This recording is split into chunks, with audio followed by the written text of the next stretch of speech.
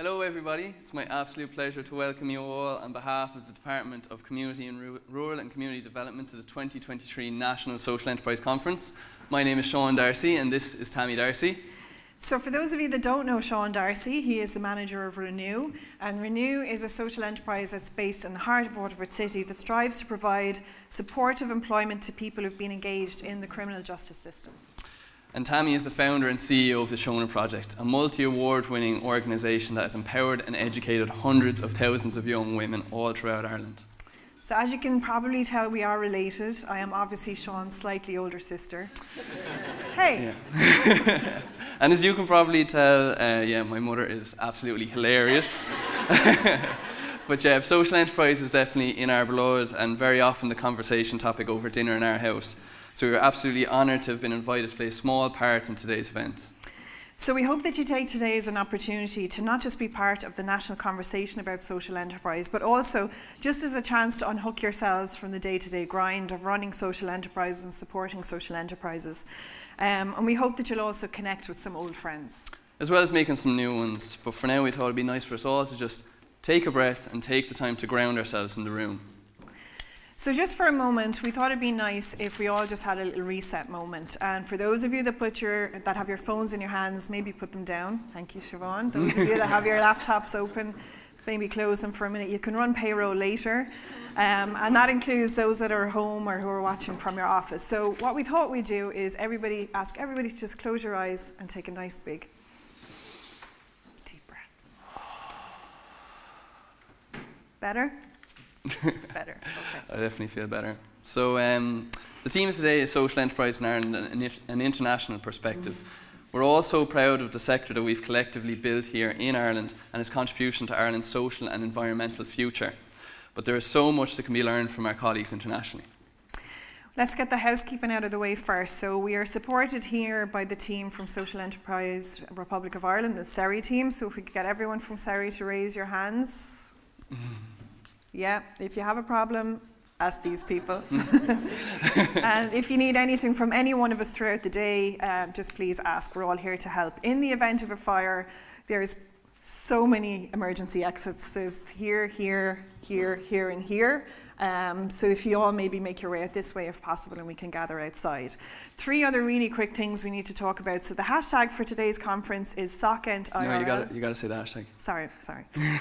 hashtag SOCENT IRL and we encourage everyone to use this hashtag when posting on social media. I am ancient, sorry I didn't know that. and for those who are watching remotely, we really want to hear from you too. So please get involved in the conversation as much as you can. Yeah. For those in the room, you'll see three QR codes on your table. Using your phone, you can use these QR codes to access the conference agenda, biographies of speakers, and the conference WhatsApp group, which you can use to ask questions and start conversations. You'll also see on your desk there's a list of 12 exhibitors and the benefits of engaging with each of them throughout today. We encourage you to have a read of that and pick at least one exhibitor to go and talk to uh, during the break times and find out how they can support your organisation and make it your business to go and have a chat. Mm.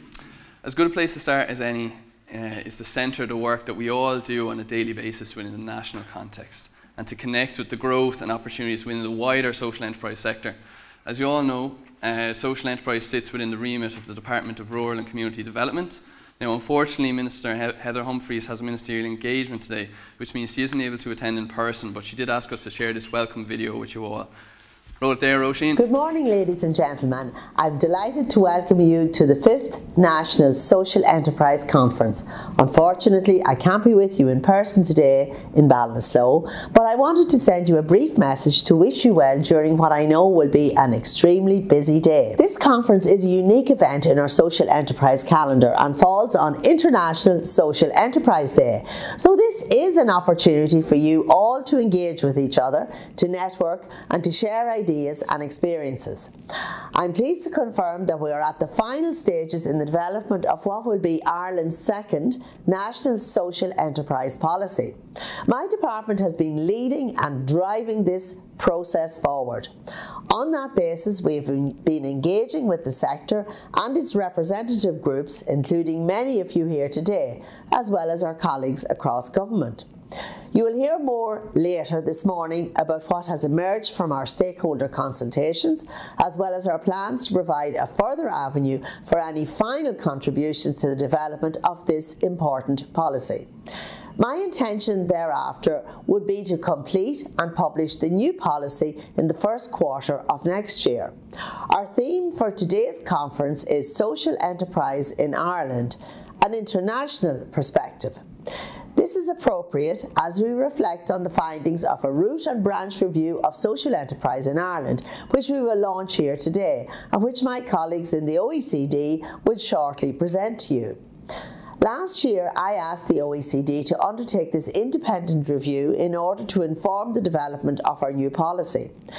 Would like to welcome the entire OECD team to Ballinasloe and say a special word of thanks both for their work and for the constructive way in which they engaged throughout. Before I conclude, I just want to say I'm very proud as Minister of the work you all do. You are the lifeblood of so many of our communities, and I am excited to see what the future holds. I would like to also take this opportunity to acknowledge the social enterprise team in my department, who are always available to support you in whatever way they can. I hope you all enjoy today and get plenty out of the conference, and I look forward to meeting you soon again. Gurimila Mahagiv Golair.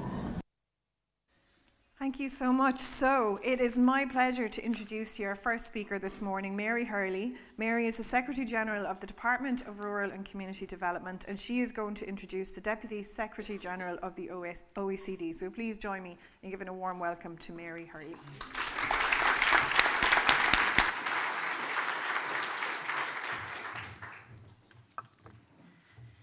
Thank you, Tammy, and thank you, Sean, and good morning, everybody. And when I came in here initially, I said, wow, that's a big room. But actually, we've filled the room. So it's great to see so many people here this morning. And I just want to welcome you all. Um, the minister, I was speaking to her on the way down, and she has. Um, like all ministers, busy at ministerial engagements this morning, but she did say to me um, she had a very good event last year and she's looking forward to hearing the outcome of today and to, to hear from, from Rob from Fintan and the team, the kind of discussions we've had, and from uh, our OECD colleagues. So it's my pleasure, as I say, to be here with you all today. Social enterprise, so important, and I'm delighted to see so many of you who deliver social enterprise and who are engaged with social enterprise every day of this week. I'd like to thank initially our colleagues in SERI, the Social Enterprise Republic of Ireland, for all their work which has gone into organising this conference and we heard from the minister there also. I want to thank my own team. There's been a flurry of activity in the department over the last number of weeks, and also, I suppose, with, with all the work that's going into the social enterprise policy, um, lots of activity. So, thank you to my own team as well as Social Enterprise Republic of Ireland um, for today. Most of all, I want to thank you who run social enterprises. Great to see you guys. And the breadth of attendees is why we wanted to bring a real strong diversity of social enterprises and a mix of both policy and practice to today. We heard from the Minister there a moment ago, and we heard she referred to the Social Enterprise in Ireland baseline data collection exercise, which was published by the Department in May. It's a hugely important document and information as it does provide us with a baseline evidence um, in terms of where we need to go, and it supports, I suppose, the activity of the sector. So, huge amount of data there and a hugely important piece of work. We now have a really better picture of the areas in which social enterprises operate. We know they employ almost 85,000 people, so huge amount of employment. A further estimated 75,000 estimated in the sector, including 45,000 active volunteers and 30,000 board members. We know that in 2021, social enterprise made a significant contribution to the Irish economy, with a total income of over 2.3 billion. Like Minister Humphreys, I want to, th to thank all the social enterprise and networks who participated in the survey because as we know, surveys are no use unless those who have an investment in the area take part. So it was really useful to get the information from you guys. Later this morning, we'll see practice in action, where three emerging social enterprises, No Barriers, Vibrecht, and BIA Innovator Campus will give us insights into their ventures. We'll also have two panels where social enterprises, their representative organisations, and policymakers discuss themes of real interest to the sector. In the afternoon, CBRE will present on corporate social procurement, which will consider both the opportunities and challenges for corporates and social enterprises in increasing market access and traded income. We'll also have breakout sessions uh, which, which, will deal with uh, topics such as philanthropy for social enterprise, climate action and social enterprise, and building an effective board. More importantly, today is an opportunity for you all to network. And there'll be plenty of times to catch up with people, and the coffee is good. So we look forward to the breaks where we can all engage. I'd like to extend a particular welcome uh, to our colleagues from the OECD who are joining us now for the launch of their report into social enterprise policy implementation in Ireland. Entitled Boosting Social Entrepreneurship and Social Enterprise Development in Ireland, this report is the culmination of months of hard work between the OECD and the Department of Rural and Community Development. In a moment, I'll hand over to the Deputy Secretary General of the OECD, Yoshiki Takeuchi, who is joining us online for his opening remarks. In the room, we have Amal and Melis, who are here from the OECD's Unit on Social Economy and Innovation at the Centre for Entrepreneurship, uh, SMEs, Regions and Cities. Welcome to you, and we look forward to hearing from you. You'll be providing us with an in depth look at the key report findings later in this session, and we're all very interested to hear about that. Thank you for your work in this area. I'd also like to represent those from the spectrum, wide spectrum of social enterprise, uh, enterprises, including colleagues from the Wheel and ISEN. We've attendance, attendees from our public funded bodies, the development sector, and social funders. Mostly, we want to I want to welcome all of you people here today, and I look forward to the engagement today and to uh, hearing the discussion. And I'm now going to hand over to the, uh, to, to the Secretary, Deputy Secretary General of the OECD.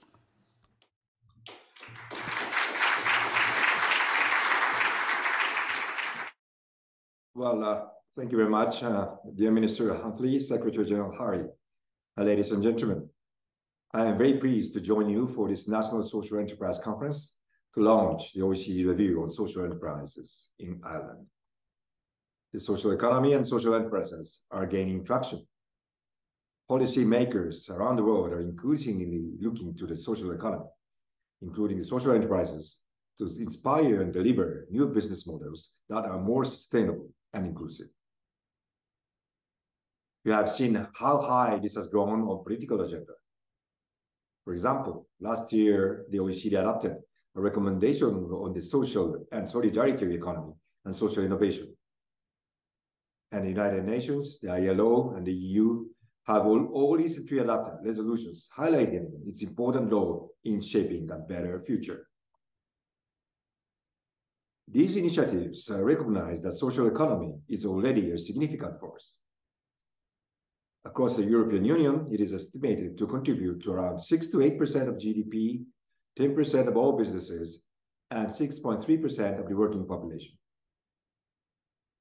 And here in Ireland, there is already a vibrant community of over 4,000 social enterprises active across many sectors, such as care, education, community, infrastructure, culture, and creative industries. It is having a huge impact, uh, generating income 2.34 billion, 2.34 billion euros, and providing jobs for 3.7% of the Irish workforce, more than two-thirds of which are women. This is an extraordinary platform to build on, but there is a potential for much more from this sector. Potential which the Irish government is already making great strides to unlock. In 2019, Ireland launched the National Social Enterprise Policy for 2019 to 2022. This policy sets the framework for the sector's future growth by providing a working definition and identifying key areas of action. These includes access to finance, public and private markets, and business support. The Irish government has also sought to ensure the social enterprises to play an active role in delivering key initiatives. One example is our Rural Future, which recognizes their role in promoting the sustainable development of rural communities by developing local assets, driving innovation, and filling gaps in markets. Working to Change is another inspirational Irish strategy that leverages social enterprises to support people with criminal convictions through employment, business development, and mentoring activities. Social enterprises will help Ireland move towards a zero waste future as set out in the Waste Action, waste action Plan for a Circular Economy by delivering business to business waste management services, renewable energy, and circular economy solutions. And you have again looked to social enterprises to help Ireland achieve a 51% reduction in greenhouse gas emissions between 2021 and 2030 as part of the program for government and the National Energy Climate Plan. I am confident the, uh, the OECD review we are launching today will help Ireland to develop an ambitious new national policy for social enterprises. One that will build on this progress and enable the sectors to go from strength to strength. Let me highlight a few key recommendations from our report. First, implementing legal labeling and improving data collection. Labels help consumers, founders, and authorities to identify social enterprises and prioritize them for their purchases, investment, and procurement. Here, Ireland could take inspiration from the UK, where community interest companies, which are companies whose ob objectives are primarily social, or from France, Solidarity Enterprise of Social Utility label. Stronger legal labeling will also enable the collection of reliable official statistics and data, an area where Ireland has already made great progress through the data published earlier this year. The OECD encourages you to continue down this path and perhaps draw inspiration from countries such as Portugal, which launched a satellite account for the social economy in 2023. This will pave the way to further understand its reach and impact. Second key message, boosting access to markets, funding, and financial support. Social enterprises must be able to access the right funding and finance to start and scale up. To do this, Ireland could consider making public procurement processes more accessible by setting targets for social procurement, as in Brisbane City Council, Australia. Or by breaking down tenders into smaller lots that can be delivered by smaller social scale, uh, smaller, smaller scale social enterprises. Measures could be taken to promote philanthropy or to invest in incubators that support social enterprises to secure investment. And the government could also consider establishing a task force coordinated by the Department of Rural and Community Development to bring together the social enterprise ecosystem, the public sector, sector and the banking sector. This could help raise awareness on the dual purpose of social enterprises, promote impact investment, and tackle the barriers they face in uh, raising finance.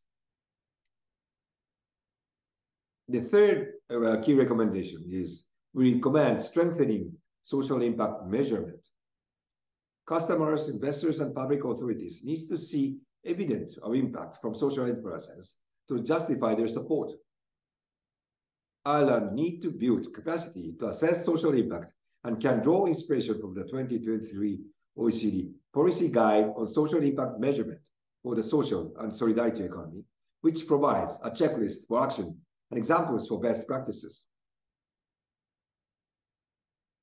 So ladies and gentlemen, social enterprises are having real impact. They are creating jobs and driving better outcomes by engaging youth, promoting gender equality, supporting the work integration of disadvantaged people, improving the local environment, and reducing emissions. For over 25 years, the OECD has been supporting national, regional, and local governments in designing and implementing strategies to unlock the potential of the social economy. So we are delighted to have partnered with Ireland to share this experience with you and look forward to coming back in the future to learn about the new initiatives you prepare. Thank you very much.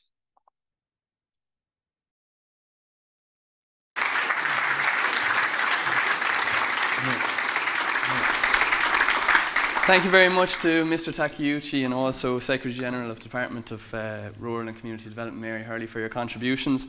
Um, to share more details on this groundbreaking OECD report, I'd like to welcome two representatives from the OECD, Amal Chevreau and Melis Aslan. And there will be 10 minutes then as well afterwards for a Q&A for any questions on how this report might, might affect our day-to-day -day work in social enterprise. And I'd also like to encourage those at home to please WhatsApp any questions you might have. This is a good opportunity to ask those questions, all right? Thank you very much. Good morning, everyone. As you can see, this is a double act. so it's Melis, my, my, my uh, partner in, in drafting this uh, great report, and myself, who have the pleasure and the honor to be with you this morning. So thank you very much for being uh, here and for coming to listen to uh, the launch of this report. I would like to start also by thanking my colleagues from uh, the Department of Rural Development and Community Development as well for all their support and um, their collaboration throughout the, the, the process.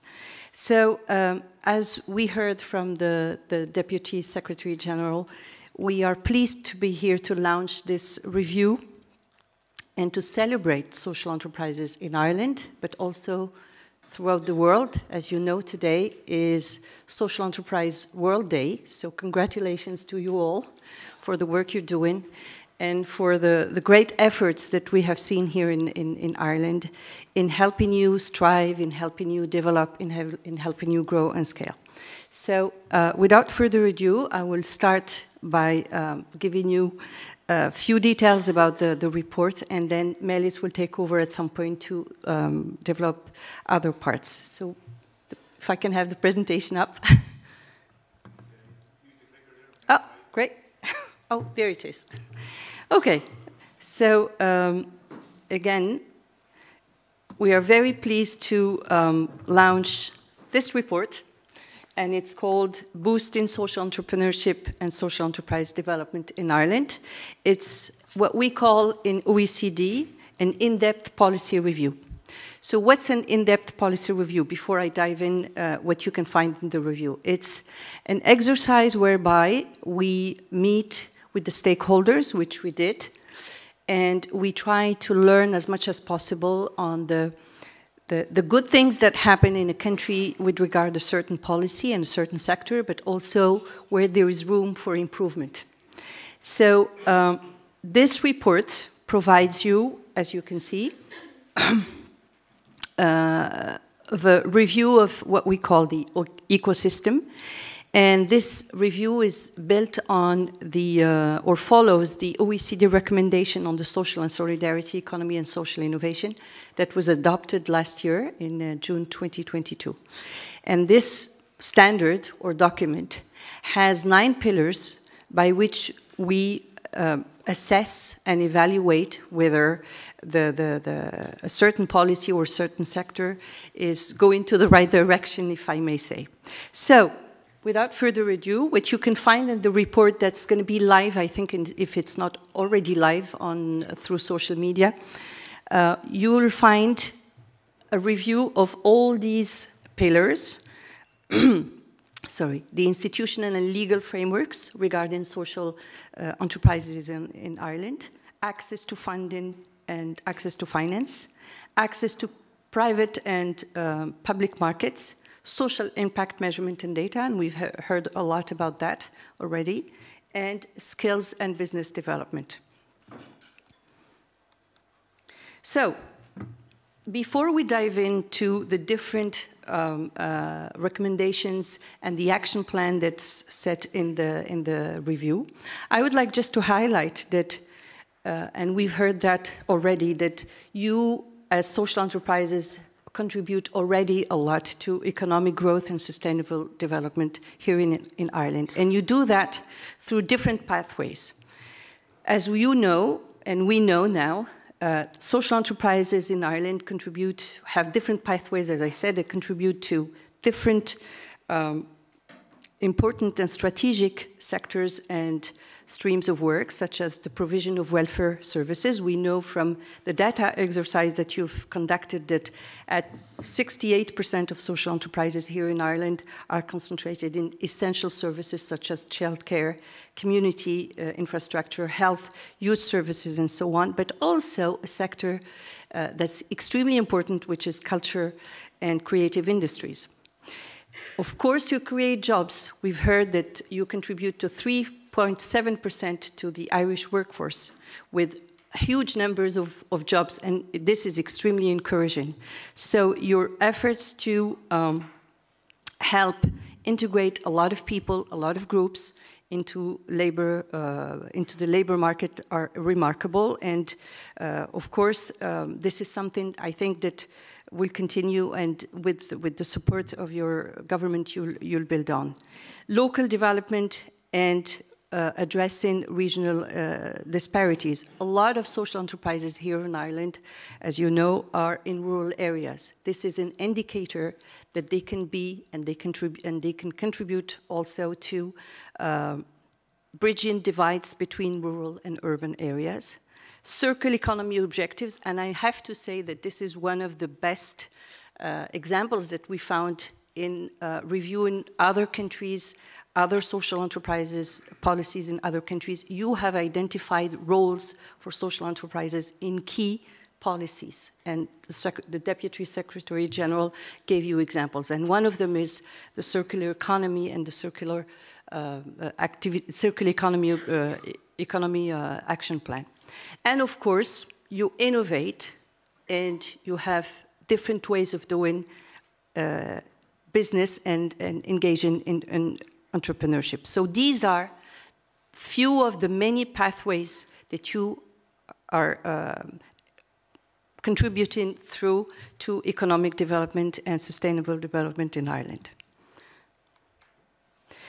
Now, this is not that is not happening in a, in a vacuum. This is happening because you have a significant policy momentum and public attention around social enterprises built on a lot of and a number of strengths. First of all, Ireland is a country where there is a strong culture of providing goods and services for local communities and labor market integration. And this is also done uh, through the work of social enterprises. Of course, the culmination of all this is also the policy. The policy is something, uh, the policy adopted uh, in 2019 is a landmark, is a foundational policy, and this is something that you will continue, I'm sure, building on. The continuous dialogue, and I have to say that while we were conducting the stakeholder um, uh, fact-finding that we did uh, last year, we were amazed by the continuous dialogue that you have around challenging issues such as legal recognition, the need for it, the not need for it. This is something that is healthy. This debate is very healthy. But it's, and, and, and also it's, it's important because uh, this has need, need, needs to be co-constructed. Nothing is adopted, nothing is developed if it's always uh, top-down. And last but not least, the data collection exercise that you guys have conducted is one of the best examples that we have seen in developing uh, measures, developing the ecosystem for social enterprises to thrive in, in many, many countries. So now, as, I, as we heard, and I can see that in the room already, you have a vibrant social enterprise community. And these are the few numbers that you that uh, come from the, the the, the data collection exercise, so I'm not going to go through them again, but you will have them up in the, in the, in, in, the report. But what was striking to us is that the concentration in the critical and essential services is very, very important. And of course, the contribution or the share of women in the workforce. And we have seen that in previous, in previous uh, uh, uh, research that we have published uh, this year. But in, in Ireland, where, for instance, on average, 60% even in France or Belgium, but here it's nearly 70%, and it's extremely important. Now, the review has an analysis, as I said, of different pillars, and it has also an action plan to help expand social enterprise potential in Ireland. These are measures that we suggest, we propose. We would like this to be some sort of a ground on which you could work together with the administration to um, develop more better condition, more and better conditions for social enterprises. And as you can see, we have 10 recommendations. So I'm not going to bore you with giving you each and one of these recommendations, but uh, first of all, I think there is a need to better and still work a little bit on better uh, and uh, better clar clarification, sorry, of the concepts of what a social enterprise is really, and to promote a shared understanding of what it is, reinforcing better reinforcement of, and coordination across government for social uh, enterprise policy, clarifying the legal identification of social enterprises, what, what they are really. Social enterprises, I have to recall this again, are enterprises, they are businesses, they need to have trading income, they need to also uh, have a social mission. And whatever they bring as income or as profit, even if this word might seem sometimes very difficult and challenging in the social enterprise space, it's needed to do good. And it's very important that the conditions in which profit is generated are clear and how profit is used are clear. Uh, promoting investment or also, for instance, in viable social enterprises could be one of the avenues, but uh, Melis has the charge to explain that a little bit more. And also increasing the strategic prevalence or relevance of uh, available public funding. So, and we, we can walk you through all these recommendations. So I will go to the first element. So as far as clarifying uh, concepts around social enterprises and social entrepreneurship, I think the main points or the main strengths here is that you have already a lot of strong initiatives around social enterprises in Ireland. These have to be a little bit more consolidated, maybe, a little bit more leveraged. But there is this, still this perception that social enterprises are not really businesses, but more of charitable organizations with limited business capacity given the historical concentration in provision of goods and services for certain communities. So the need, there is still a need to foster, to help foster this shared understanding across different sectors and different administrations of what uh, social enterprises and social entrepreneurship in general um, are. And this can be done through continued multi-stakeholder dialogue, which you already do, and um, having maybe building on the global, these global standards that were adopted either by the OECD, ILO, the UN, where um, there is clear now, clearer um, uh, definitions of what these concepts are.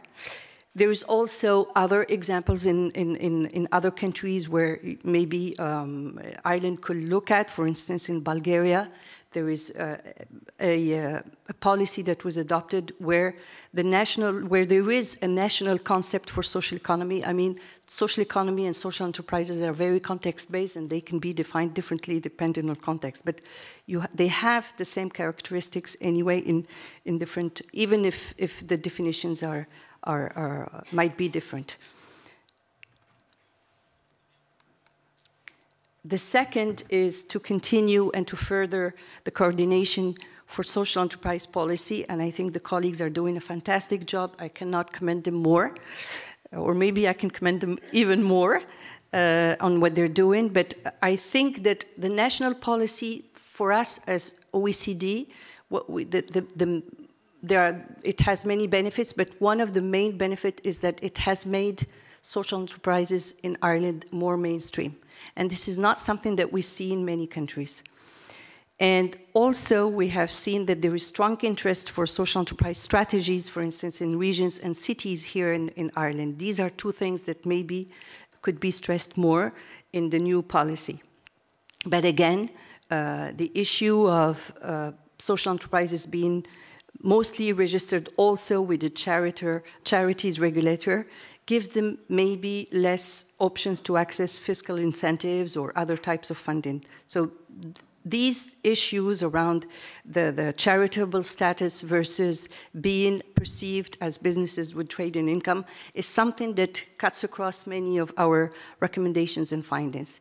So I just want to remind you, you here that social enterprises, for instance, and social enterprise legislation in particular, uh, exist in many EU countries already. We have seen that 16 EU countries at least have some form of legislation on social enterprises, and others have strategies, action plans like you have here in Ireland.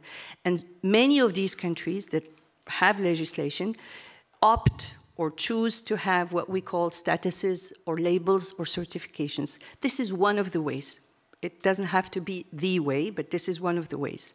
And this can be explored through different examples. The, the Secretary General made a reference to France or to Denmark, but there are other examples such as Luxembourg or Poland where there is a clear definition in the law and there are criteria by which social enterprises can be clearly identified. But again, this is just one of the many pathways we can't stress enough also the need to more coordination. I know that there are a lot of efforts that are being made in Ireland, but stronger coordination to raise the profile of social enterprises as businesses is extremely important.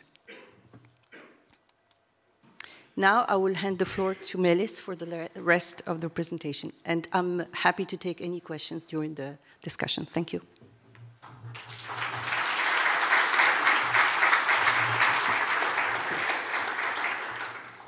So my turn to hijack the stage. Thanks for the applause for my beginning of, of the rest of the presentation. So I'll pick up from where Amal left off. And I'm going to again follow the, the building blocks of the recommendation. I had the pleasure to work with Amal and the RCD to conclude the review on Ireland, and we now proceed with, the, with another, yet another very important pillar, which is enabling access to finance and, and funding. So Amal has just mentioned that in Ireland we see a special case where a lot of social enterprises are opting for um, the, the charitable status. This is mainly to obviously access the much needed uh, fiscal incentives. But we see that this is also leading to probably a common misperception around social enterprises being mostly charitable entities without much capacity to establish viable business models. And this is an assumption that cannot be ruled out for all social enterprises, of course, but this also misrepresents the case of many social enterprises who can and who do establish financially sustainable business models in delivering goods and services. So what we observe uh, in many other countries as well as Ireland is that the available range of financial products they do not necessarily fit the specific context of social enterprises. Yes, we, we say that they are also businesses, they have trading income, they do deliver goods and services, but of course they have at their core the attainment of longer term societal objectives which a conventional enterprise would not really have in, incorporated into their, their business model which is why some of the financing requirements we see, especially in the conventional financing environment, have criteria that are geared towards conventional enterprises, such as shorter, um, shorter loan repayment periods, stricter collateral requirements, and these do not necessarily apply to social enterprises. So we have to explore other ways of making sure that social enterprises can access the, the tailored financial instruments that they need to satisfy their, their financing needs. And Ireland is lucky in the sense that there are a lot of public or publicly backed uh, funding schemes available, such as through CSP, through the Dormant Accounts Fund, Rethink Ireland, or a lot of social lenders such as Clann or Community Finance Ireland. So this is obviously a very positive element to, to the provision of financing or funding uh, to social enterprises in Ireland, but policy has a role in helping unlock this, especially by bringing in some mainstream financing as well and also by changing the way public policy or public funding is supporting social enterprises because we see that usually it focuses a lot on addressing shorter term liquidity issues or helping them with cost containment, whereas we can use public funding more strategically for longer term investments to also help social enterprises maybe invest in other areas, invest in their mod, uh, models to scale their imp impact across regions. So this, there is an opportunity for public funding as well to explore other ways of helping social enterprises too. We see examples of this in, another in other countries such as the UK where you have the use of dormant account funds. Uh, in the big society capital, you, you also bring in other banks and you have hybrid mechanisms as well that, that could engage mainstream actors more because it's true that without the mainstream financial actors, the growth of, of social enterprise space will not be uh, capitalized fully. So that, that was one of the pillars that we, that we looked at in the review. And this links to also facilitating access to markets, I think we're going to have a discussion already on public procurement. And this is another thing we look at in the review because public procurement, especially not just public-private as well, but public procurement can be an important driver um, for social enterprise development as well. Just uh, across the EU, public procurement is accounting for around 14% of EU GDP, but then we still see 55% of procurement procedures are still using just the, the minimum price as the, as the only award criteria. So we're looking at inclusion of social clauses, especially in public procurement contracts through socially responsible public procurement, so that there is a recognition of societal objectives as well in the procurement processes and this will also help social enterprises access the public markets as well. But then obviously there are problems around this because public contracts tend to be too big, usually for social enterprises. And that's why we're looking for other, other examples of how social enterprises can, can better uh, benefit from public uh, procurement. We see in countries such as Spain, Bulgaria, UK, Australia, you have reserved quotas for social enterprises, so you have a minimum percentage where you say, I'm going to source specifically from social economy entities or social enterprises in particular. Or you have an example, for example, from Czechia at the city level, um, you, you basically say, I have, um, I'm going to, um, I'm going to uh, source this particular service from the social enterprises and I'm going to be bringing minimum harmonized procedures to do so. So we have still a lot of examples around this and we have the example of the national campaign in Scotland or Canada where governments are also trying to bring in consumers and private uh, actors into play to help source from, uh, source from social economy entities and social enterprises. And we've seen the, the highlight of this in the, in the previous policy, in the policy for 2019 and 22. I've looked at the, the policy measures, so three out of 26, which in my opinion is quite high, focus on improved procurement opportunities for social enterprises. But again, we have challenges around as social enterprises, how do I apply for a tender? Is a burden we have to address because there's limited sometimes capacity on knowing how to compete for a contract. And also on the procurement officer's side, as, as the decision makers, they do not necessarily know how social enterprises operate because as we mentioned, they have a specific societal mission. So they also have to be aware of how social enterprises operate so that they can assess them uh, more properly when it comes to sourcing from social enterprises. And now comes the data part of this. And I have to say the data, baseline data collection exercise was one of the best things that happened to our review for sure. Because when we first started looking at the, the state of social enterprises in Ireland, the available information was very outdated. We didn't really understand the scale of what we were talking about perfectly. And we keep saying that social enterprises contribute to community development or sustainable economic growth a lot, but there are like two main questions, do they? And by how much? So this, this collection exercise really helps us understand at least the size and shape of the space. And uh, this is something that we propose to do on a regular basis because what is important is also to understand the trends across time, across places. So if this is turned into a regular practice and if information data on social enterprises is collected and published regularly, it will allow us to see if the social enterprise space is shrinking in Ireland or is growing in Ireland, concentrated in, in Dublin or concentrated in rural regions, etc. So we, there is one way of doing this through satellite accounts. Some countries already have satellite accounts on usually social economy, entities more broadly. You have um, Canada. Canada calls it nonprofit institutions, so it depends from country to country, but you have Luxembourg, Mexico, Portugal. They publish usually biannually or sometimes annually uh, the number of entities, the employment figures, the sectors of activity, etc., which we find very helpful to understand how developed the social enterprise ecosystem is in the country. And another question that we find very important is the social value generated by social enterprises, and this this relates to social impact measurement, which always comes uh, as one of the priorities in policies, but it's a bit difficult to actually conduct it. There's still a lot of room for social enterprises to practice so social impact measurement more broadly in general. The issue is that we have a lot of requirements. These are usually accountability requirements, so as a social enterprise, I sometimes have to report my impact to my funder or to the policymaker.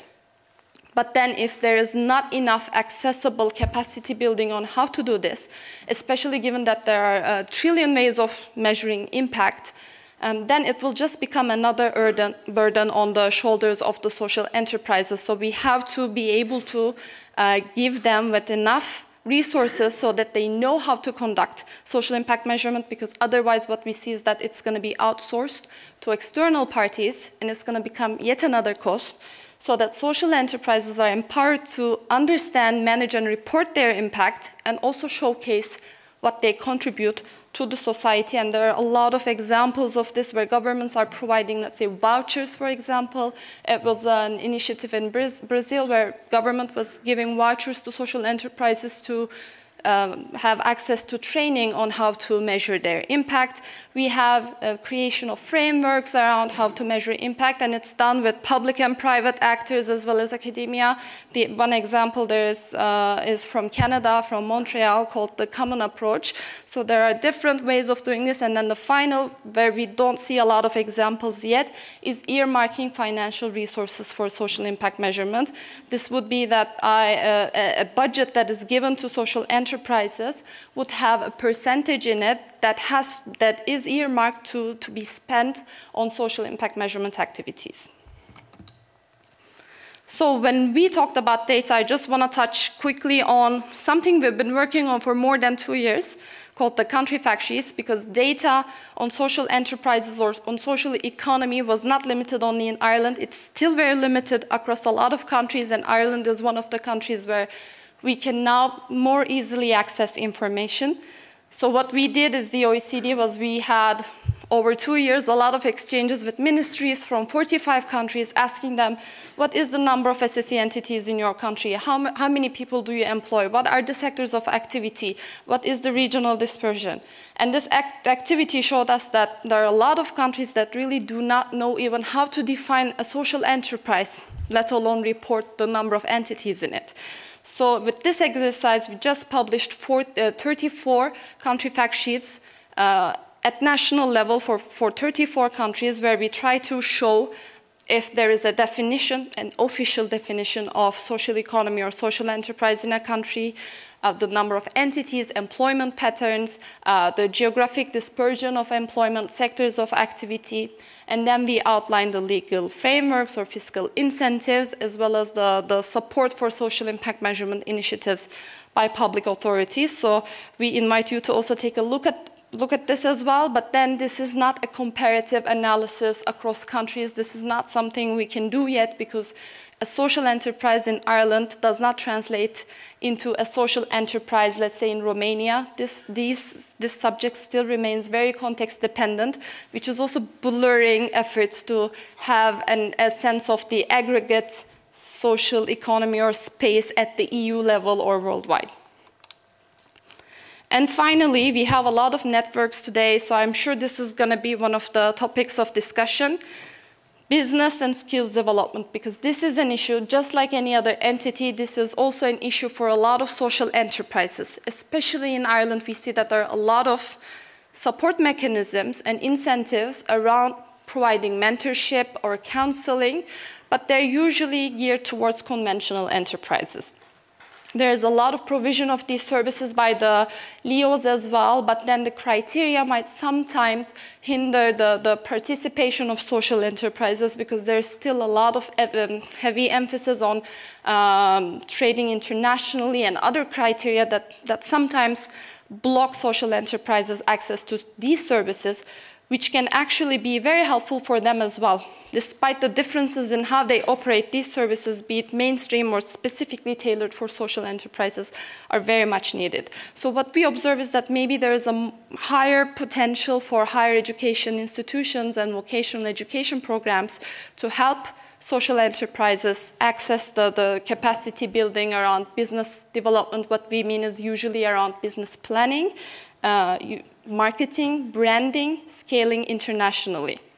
And we see that in Ireland it's there, it's there, there's a lot of provision of these, but it's fragmented. So as a social enterprise, when I want to seek support on honing my skills around business development, it is complicated for me to understand where to look, where to start looking for. So maybe consolidating the offers, as Ireland did for the available financial incentives for social enterprises, is one way uh, that could help social enterprises understand what, what is available to them and also international initiatives such as trade missions.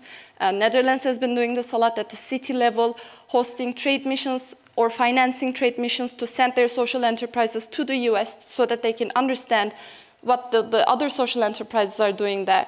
Or you can have uh, peer-to-peer -peer learning experiences where you can have uh, different uh, social enterprises from different sectors interact. Spain has an example for this. For example, they, they specifically focus on, on, on cheese manufacturing and they would like to promote social enterprises engaged in cheese manufacturing uh, globally. So these are also other ways that policy can help social enterprises uh, both with their networking opportunities, but also to better develop their business planning skills. So this would conclude actually our, our, our, review, but of course, I mean, it's exchanges like this that is very helpful, and we, maybe this is the first thing we should have said, but we have, we have, we have the chance to look at many other countries uh, with respect to their social enterprise policy, and we, we clearly see that Ireland is on a very positive track uh, where this policy discourse is really serious around social enterprises. So we really look forward to learning more about what we may have missed. So we're here for any questions or comments you may have. Thank you. Thank you.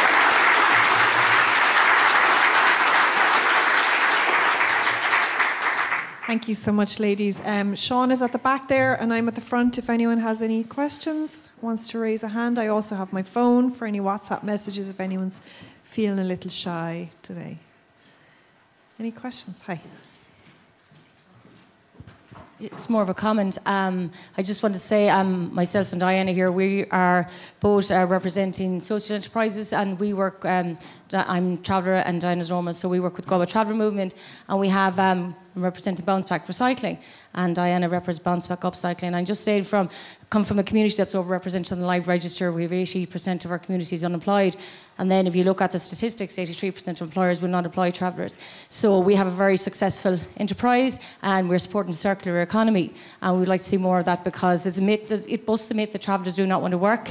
And, you know, kind of Ireland, uh, within Ireland, travellers are always the first Recyclers. So this is a great initiative, and we're just delighted to be here to represent, you know, our community to say that you know we are there, we on to work, and social enterprise has opened doors and opened opportunities for employment for us. So we just want to say thank you very much.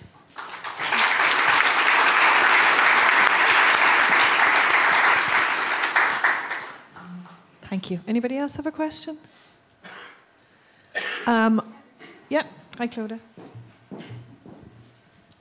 Thanks very much for the report. It was really interesting. Um, I wondered if you could. There was a term you used that I actually didn't understand about social procurement, which was uh, the minimum harmonised procedure. Uh, so maybe you could maybe explain a little bit more about that. Sure.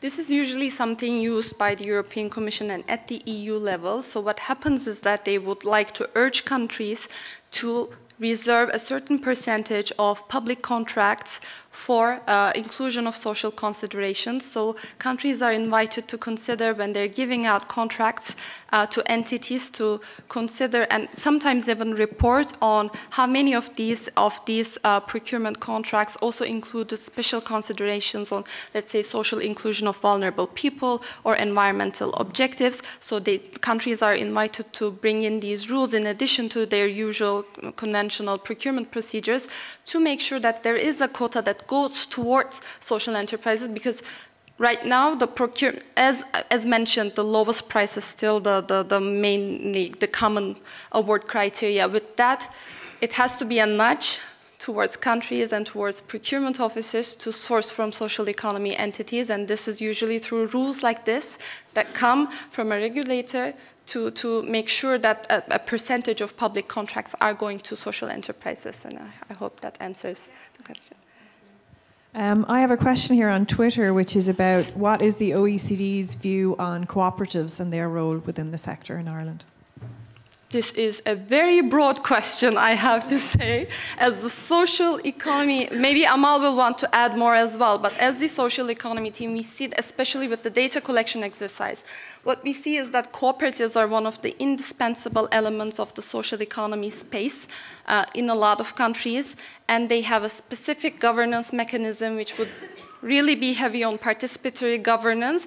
And we've seen in some of the, especially in, in the recent crisis such as the COVID or even beyond, uh, be, uh, before that, during the financial crisis, cooperatives really are a, a, source of resilience for a lot of communities. We've seen in the financial crisis that it was mostly the cooperative banks that didn't need bailing out.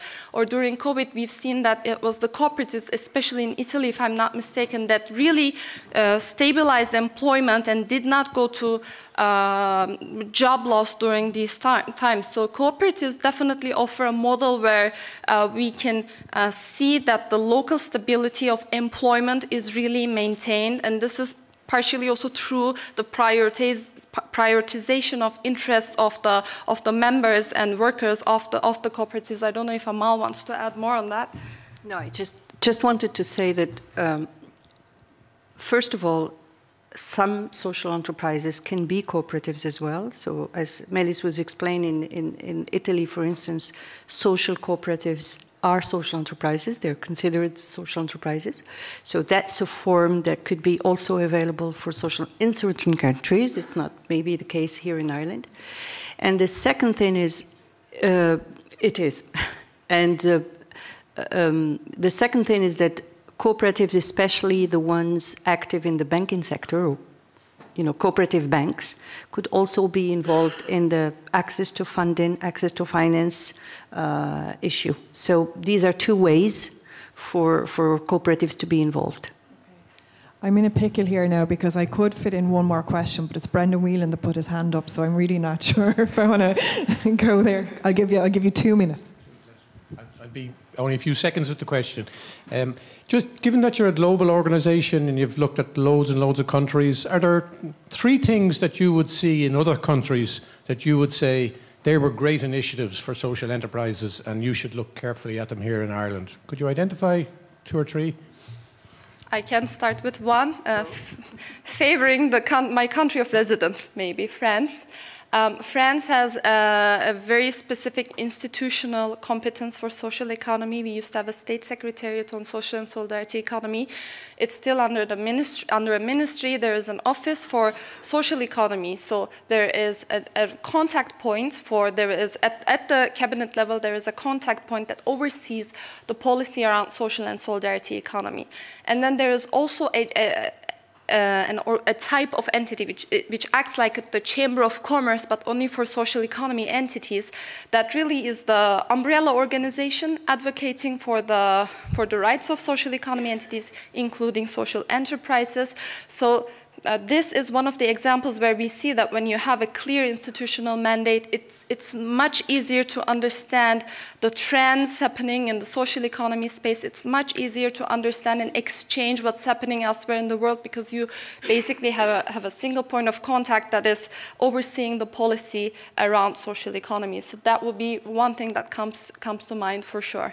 And then we have, as I mentioned, we, we've seen that the satellite accounts really, the availability of data helps a lot because because without data, we cannot really understand the scale of what we're talking about. So again, countries such as Portugal or Spain, they, they publish information data on social economy on a regular basis. And Spain is yet another country that has uh, five-year public investment plans into social economy, clearly defining every single criteria to, under, to, to see what constitutes as a social economy entity. So these would be the, the main things that make our lives easier as, uh, easier as reviewers as well when we look at a particular landscape.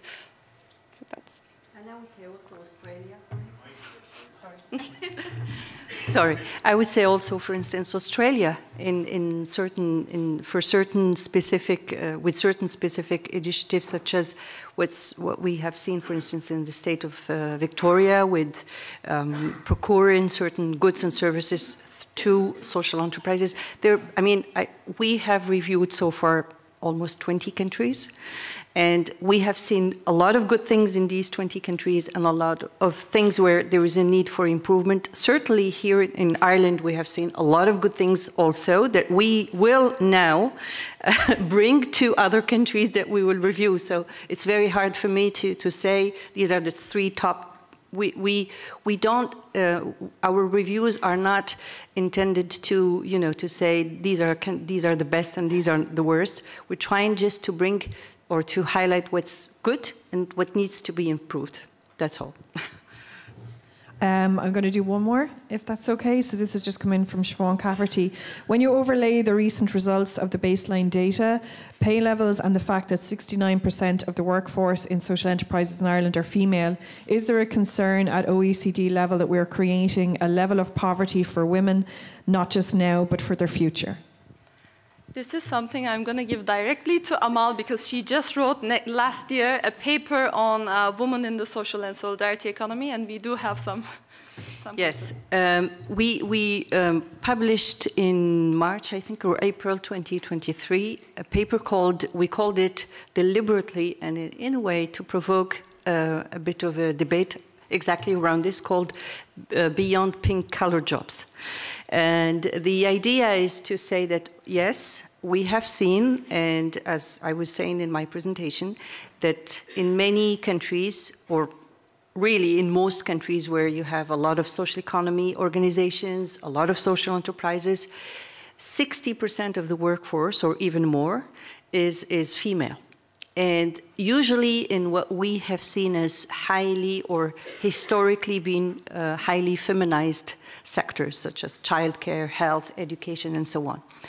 Now, this question of pay is, is pay in general is uh, quite pay in general is quite low in social economy because of many reasons. Because these sectors because they're essential and critical. Um, they're not very highly pay pay uh, levels are not very high. That's that's something also historically proven, and uh, we have evidence around that. It's not maintain. It's not the issue is not maintaining uh, female in poverty or not. The issue is how do we bring in more men into these uh, jobs, so we don't reinforce these stereotypes while also keeping to uh, provide opportunities for women, women to integrate the, the job market. So that's the first thing. The second is maybe social economy, and I think you're doing it already here in Ireland through the contribution of social, social enterprises to circular economy activities and so on, is to diversify the opportunities. I think there is a lot of opportunities out there, and we will have a whole debate about AI, but I, am not mentioning here specifically AI, but the digital economy, the green sectors, these are areas where maybe uh, social enterprises ought to look a little bit more into and offer opportunities for females so that we don't reinforce these, uh, these uh, the issues of maybe low pay and uh, highly concentrated female participation in the labor market.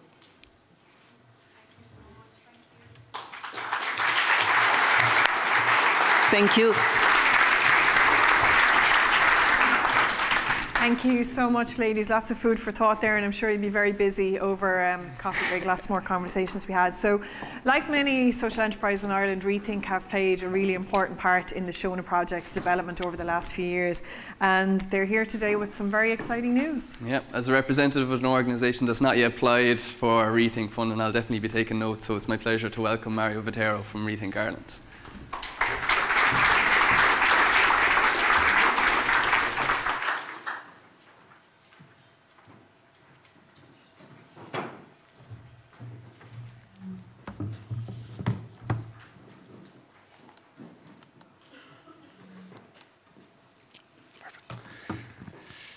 Good morning, everyone. Uh, my name is Mario Botero. I'm the Impact Director of Rethink Ireland, and it's a very exciting day, and I'm very happy to be here with all of you.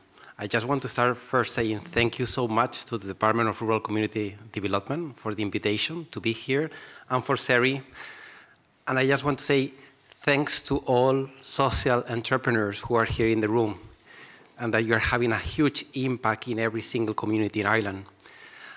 We, Rethink Ireland, we truly believe in the impact that you are having, and our commitment has been very clear in the last seven years, where we have been investing more than 13 million euros in more than 160 social enterprises across Ireland in every single county, reaching and having a positive impact in more than 400,000 people in Ireland.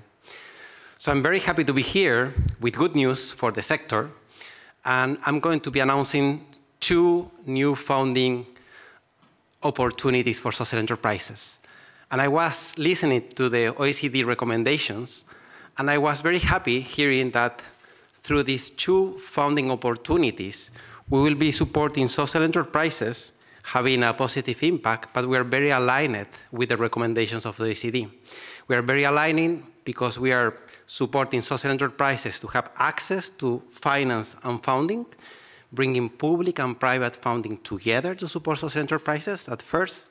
Second, we are aiming to be improving the social impact measurement of the social enterprises. We can see the contribution of social enterprises having a huge uh, impact in their communities. And third, providing business support for improving the organizational sustainability.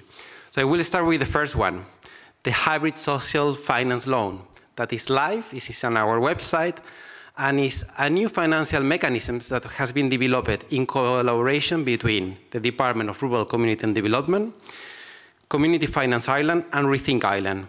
We're inviting social enterprises to apply to the hybrid social loan, a great opportunities for social enterprises that are looking to have access to funding and develop a credit record. We're inviting all first-time borrowers, social enterprises to apply. What is the award? The award consists of three key elements. The first one is a repayable loan of between 10 to 50,000 euros provided by Community Finance Ireland. A second one, a non-repayable loan for up to the same amount that will be provided by Rethink Ireland. And third, business supports for an amount of 10,000 euros that will be provided by Rethink Ireland. We are aiming to be supporting up to 20 social enterprises through this financial scheme.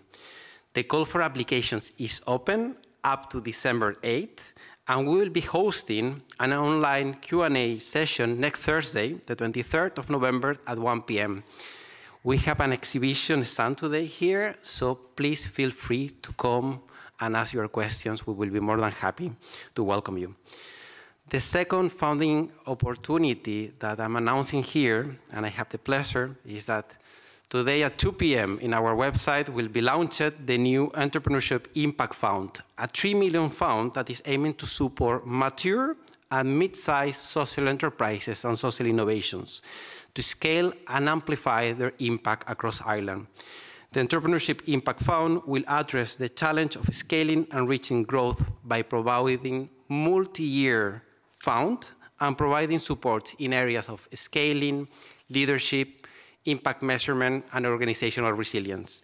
We are offering two types of supports. The one is the Growth Fund that will be mainly focused in mature social enterprises, and we're aiming to support mature social enterprises to have transformative impact across Ireland. And the Scale Up Fund that will be focused in mid-sized social enterprises, and we're aiming to support you to scale and maximize your impact across Ireland. As I'm saying, please, um, during the coffee break, we have a stand. We will be welcome you. If you have any questions and answers, we will be happy to talk to you. Thank you so much.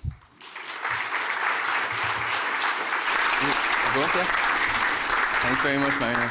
Thank you. Thank you. Um, so it's been a busy morning already, and it's great to have set the scene for some important conversations that we'll be having later this afternoon. So there's lots to talk about. Uh, let's grab a coffee and a scone and say some hi to some familiar faces. But let's also make some new friends. So what we'd love you all to do is try and make a new connection here today during coffee or lunch. Um, as we said, there's a list on the tables of all the exhibitors that are outside. Please go and talk to them and find out about the supports that they offer. We need you back at your seats by 11:30 if possible. So grab a coffee and we'll see you soon. Okay, will we get started again? Great. Okay. So, um, welcome back, everybody. We hope you all managed to grab a coffee. I know the queue was long. I hope you're all okay and you got sorted and you managed to stretch your legs. Um, as many of you know, the sector was hugely welcoming of our first social enterprise policy in 2019. This was transformative as it recognised our existence for a start as a sector, but it also set the tone for our growth going forward. The term of our first policy is almost at an end. It's time to now to look to the future. So here to update us on the upcoming national policy for social enterprise is Rob Nicholson, Principal Officer at the Department of Rural and Community Development.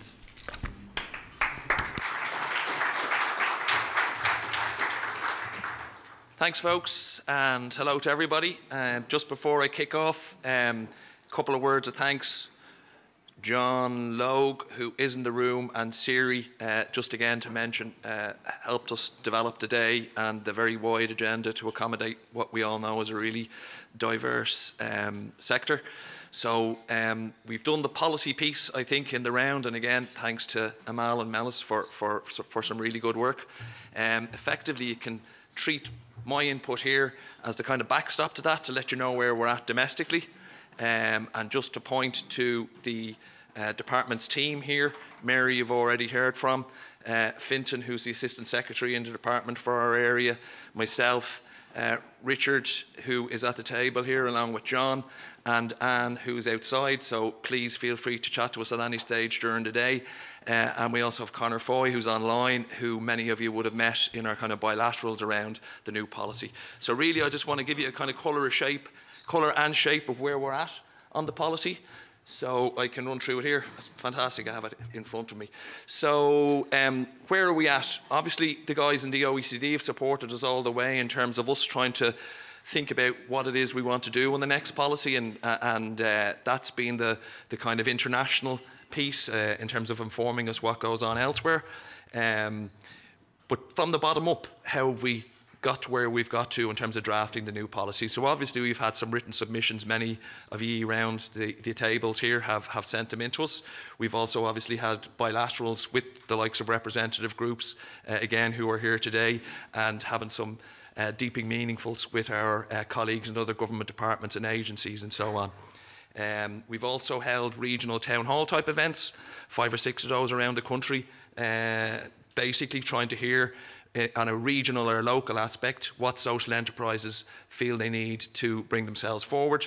Um, and then obviously in terms of the evidence, uh, beyond the consultation, the baseline data exercise, which has been referred to a few times this morning, was really key for us because obviously we need to know if we want to get somewhere, where are we at the moment? And to be frank, we didn't have a particular particularly accurate pic picture of that. So at least we know now where our standing start is.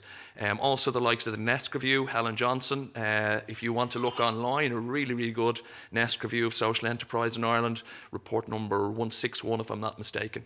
You can you could have a look at that um, to brief yourselves on, on NESC's view around what's required for the social enterprise. Obviously, again, uh, the OECD and uh, colleagues there, and this report has been really central. We've obviously seen drafts as we've gone along, uh, which has informed our thinking about, from a policy perspective, how we how we uh, bring the sector forward. And then GECES, which is uh, a working group at EU level with the OECD um, for the social economy and social enterprise. Social economy, obviously, being a much broader construct in the Irish sense, in that it includes charities, uh, cooperatives, and associations, with social enterprise being a, a subset of the, the, broader social economy. Uh, and then again, obviously, on the EU policy framework, and many of you here, I think, were in San Sebastian last week, or at least a number of you. Um, which, which uh, was the culmination of a lot of work by the Spanish presidency in the area of the social economy. And we also uh, signed up to the EU framework on the social economy uh, back in October via our colleagues in uh, EPSCO, which is the working party which is run through uh, Department of Enterprise, Trade and Employment representing Ireland. So some really good progress there. And I can say at EU level, OECD level and so on, very much consistent with what we've heard from this kind of local up uh, uh, uh positioned in Ireland about what's required. So what I'm going to do is give you a sneak preview, sneak verbal preview of where we're at in the development of the social enterprise strategy.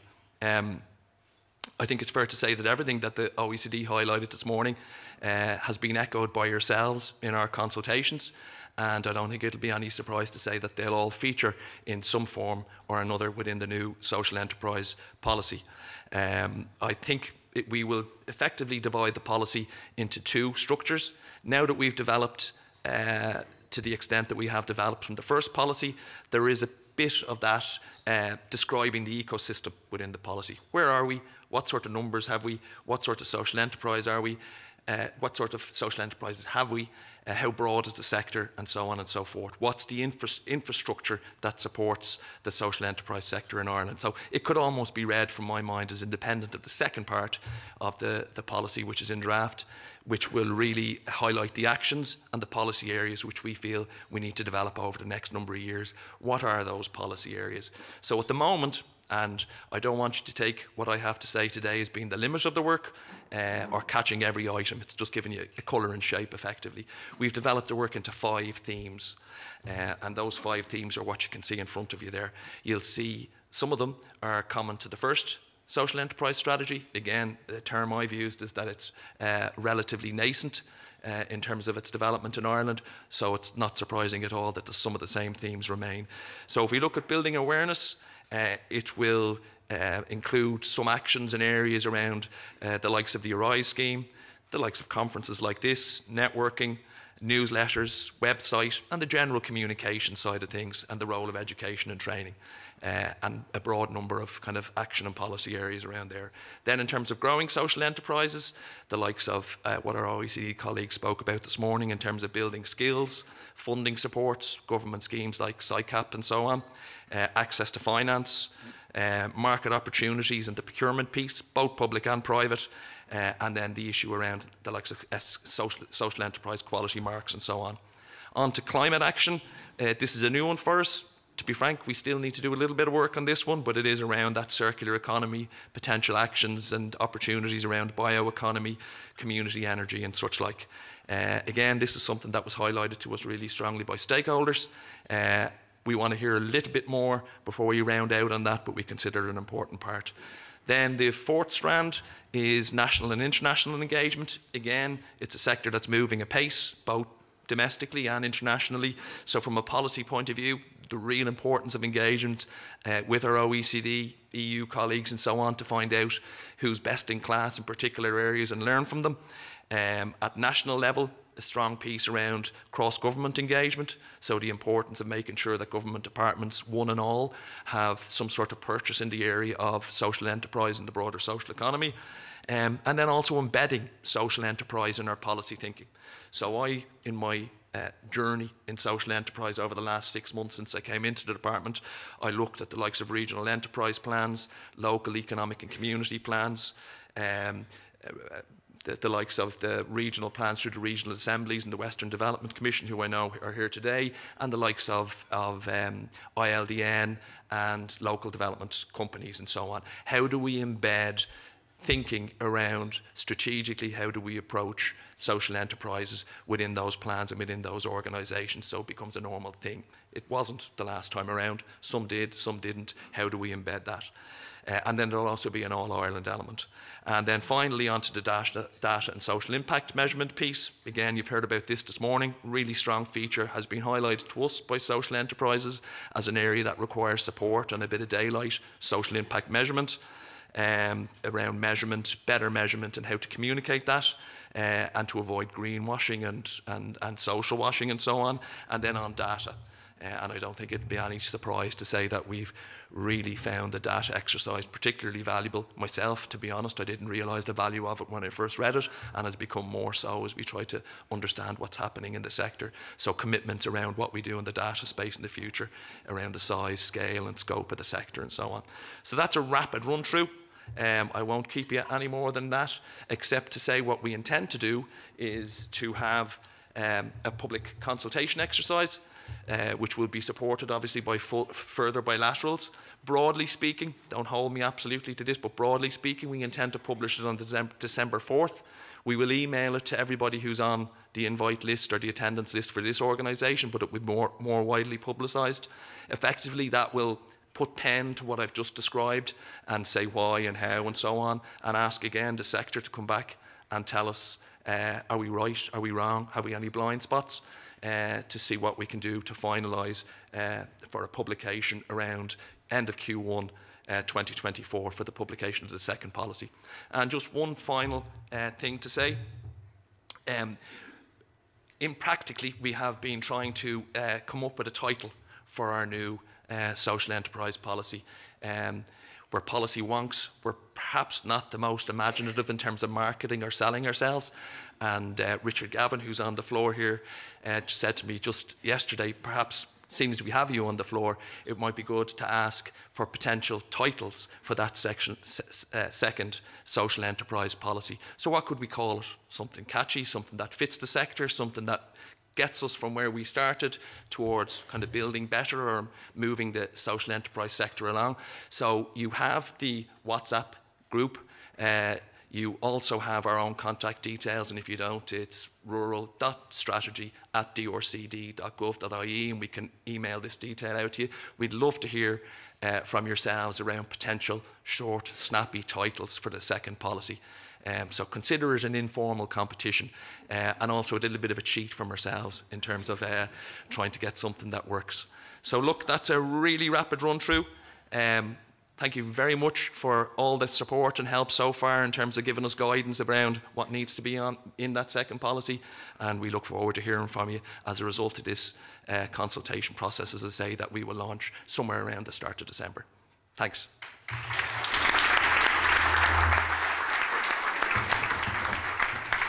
Thanks very much, Rob. I'm sure people are waiting with bated breath for that now. Yeah.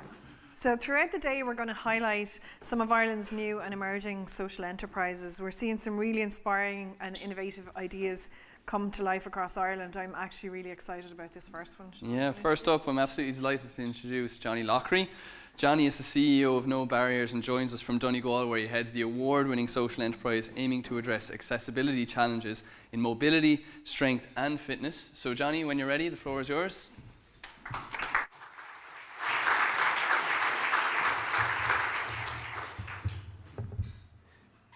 Hi, folks. Uh, first of all, I'd just like to say we're over the moon to be invited here today and asked to, to talk to you all about our own, our own journey um, it's definitely been a, a big, big journey. Um, as I say, my name is no, Johnny Loughrey from the No Barriers Foundation. I founded the foundation in 2016 um, and just started operating as a CEO two years ago. Um, we're very, very lucky here today to have uh, my colleagues Neve and David, who are going to be demonstrating the exoskeleton. Um, so it's a robotic exoskeleton that allows people with spinal cord injuries, brain injury, stroke, MS, amongst others, to walk and rehabilitate in the suit. Um, if they have any level of, of existing paralysis. So the demo will be going on here while I'm chatting, um, if you want to, to have a wee, a wee look there as well. Okay. So one moment is all it takes to change the course of your life. None of us are immune to disability, and at any stage, um, whether it's a, a father, uh, son, mother, daughter, um, you know, we will end up being in a, in a position where, you know, someone within our family will likely need the help of a foundation like, like No Barriers. The problem in Ireland today is people with a disability, with or without money, cannot reach their full rehab potential. However, those with money have a much better chance. At No Barriers Foundation, we believe in an Ireland where everyone with a disability, regardless of their level of disability or ability to pay, can achieve their full rehab potential and maximise their lifelong physical and mental health and well-being in an inclusive community environment. Our mission was to create an inclusive, affordable health facility equipped with specialist neurological equipment, allowing anyone with a disability to train and improve their current level of physical and mental health. Just to give you an idea of the landscape, in Donegal alone, there are 30,000 registered uh, people with a disability. We can cater directly for 13,000 of these. Um, those figures are just in Donegal alone. Uh, no Barriers Foundation would currently be seeing people from uh, a lot of bordering counties, and people would drive two to three hours to, to get our services the minute, so the, the figures are, are huge there. We, we primarily cater for, for three different, um, I suppose, types of clients. So those discharged from acute care with the likes of a spinal cord injury, a stroke, or a brain injury. Those with progressive ongoing conditions like MS, Parkinson's disease, cerebral palsy, um, and also those with intellectual disabilities within the community.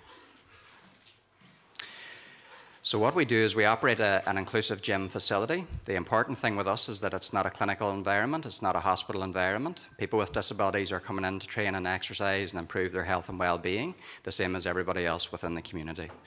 Um, to do that, we're able to access specialist equipment like the likes of the exoskeleton. Um, so we're very, very fortunate. We've worked uh, a huge amount over the years, and we currently operate three of seven exoskeletons within the country um, in our gym in, in Donegal here. We also have other types of adaptive equipment, like the HURE uh, equipment, which we are very thankful to Pobal for, for helping us uh, fund, which is wheelchair accessible strength equipment, um, that's smart equipment uh, within our gym.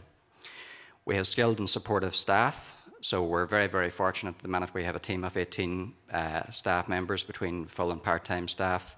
Uh, that includes neurophysiotherapists, physiotherapists, occupational therapists, strength and conditioning coaches, uh, and speech and language therapists.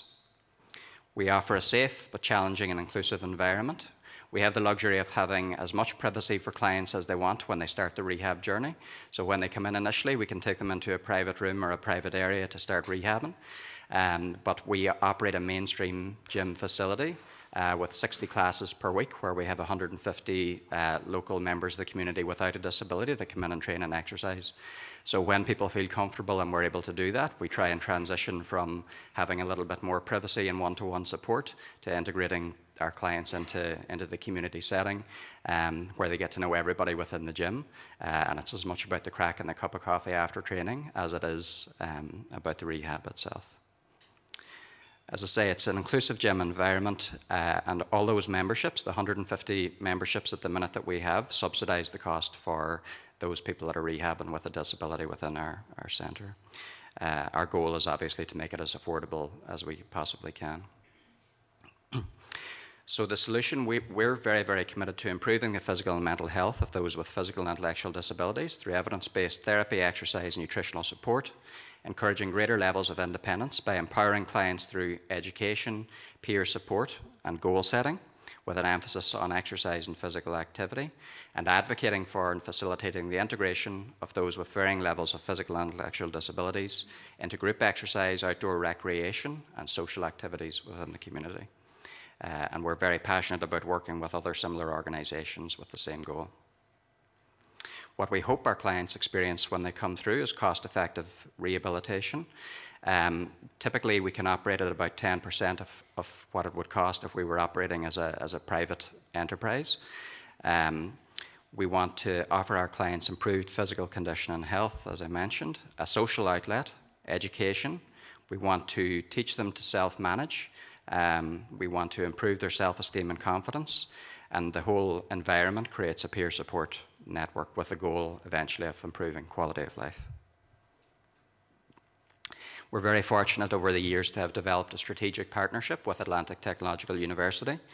Um, so a, a, strategic partnership developed. We first completed a, a, master's level research project, which was published, um, which then later went on to, to uh, get PhD funding. So that's just in the in the process of getting written up at the minute. But um, the study was basically on a group of uh, individuals who were had some level of paralysis, would come in and use the suit, and we were measuring the physical changes following a 12-week program with ourselves. We were measuring emotional changes, so we were looking at gal galvanic skin response, so we could tell emotionally what it was like for someone to get up and walk in the suit, and we were looking at quality of life. We since then have uh, received second uh, tier of PhD funding to be looking at uh, how the health and well-being module we deliver for people with intellectual disabilities is going to be um, affecting and the, and the changes and impact we can make in that, in that realm. So as I say, No Barriers first started in, in 2016. Um, we basically took two years to get us up and running and to get a, a I suppose, an infrastructure in place. Um, 2018, we had our first suit, uh, thanks to European Leader funding, and today, uh, 2018, we also actually got our first staff member, which is David here, uh, came on board with us. Uh, now we have 18 staff, thankfully. Um, I originally was, was on the board of directors um, and had stepped off the board of directors just two and a half years ago through circumstances. Um, we had a physiotherapist and a clinical lead um, who, who was stepping away and, and uh, I, at the time, stepped off the board of directors just to be delivering on the ground. I'm a physiotherapist by trade, um, and we recruited another uh, clinical lead and physiotherapist. At which point, then I stepped into more of a CEO role. I suppose at that point we were just recognising that that you know the thing had to be run as a business, um, and as we were growing, we needed to just manage uh, manage that. Um, we thankfully grown organically to minimise exposure and risk, uh, and last year we ended up tripling in size and are forecasted to double in size again in, in 2024. Um, we had a big year last year in terms of the first year we actually got charity status. Uh, we ended up initially had no money at all, so we were lucky enough to be able to get two gyms within Letterkenny to um, allow us to walk in the suit for free. And just last year, we brokered a deal to buy the the gym that was allowing us to walk for free. So we now are able to operate that uh, as a social enterprise, um, and we've absorbed the, the staff, and we can use that as an ongoing stream of, of revenue while also managing to, to integrate everybody into the, into the gym community. Um, so one of the things that we're very, very passionate about is we just launched a specialist paediatric service within Donegal, which is very, very badly needed. Um, you know, it's, it's great being in an event like this, and one of the things that we'll be looking to do is see if we can network with uh, different other organisations in a similar position, um, and to see if we can, you know, come up with, with new and novel ways of, of getting funding. Um, one of our main goals at the minute is we have three adult um, exoskeleton suits, and we're extremely passionate and driven to get a, a paediatric suit so that children with disabilities can stand and play while in the suit. Um, this will cost us approximately 300,000, but we're, we're making it one of our, our top goals for 2024 to try and um, secure that funding. Um, I suppose, what does it look like if, if we think we're doing a good job for no barriers? You know, we think we will be succeeding if we're not seen as a charity that helps people with a disability, if we're seen as a gym with excellent equipment, staff and services that focus on equality uh, and don't see people with a disability. Thank you.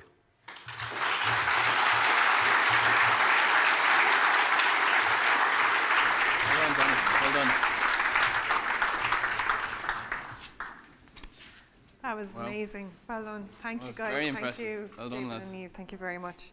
Um, we're going to move on with our first panel of the day, and one of our biggest challenges for our sector has been building traded income and making sure that that income is diverse and sustainable. So today is a great opportunity to hear about all the many ways that this can be put into action. Yep. So here to host our first panel on that very subject is CEO of the Irish Social Enterprise Network, Chris Gordon, who will introduce us to the panelists. Sorry, take it away, Chris.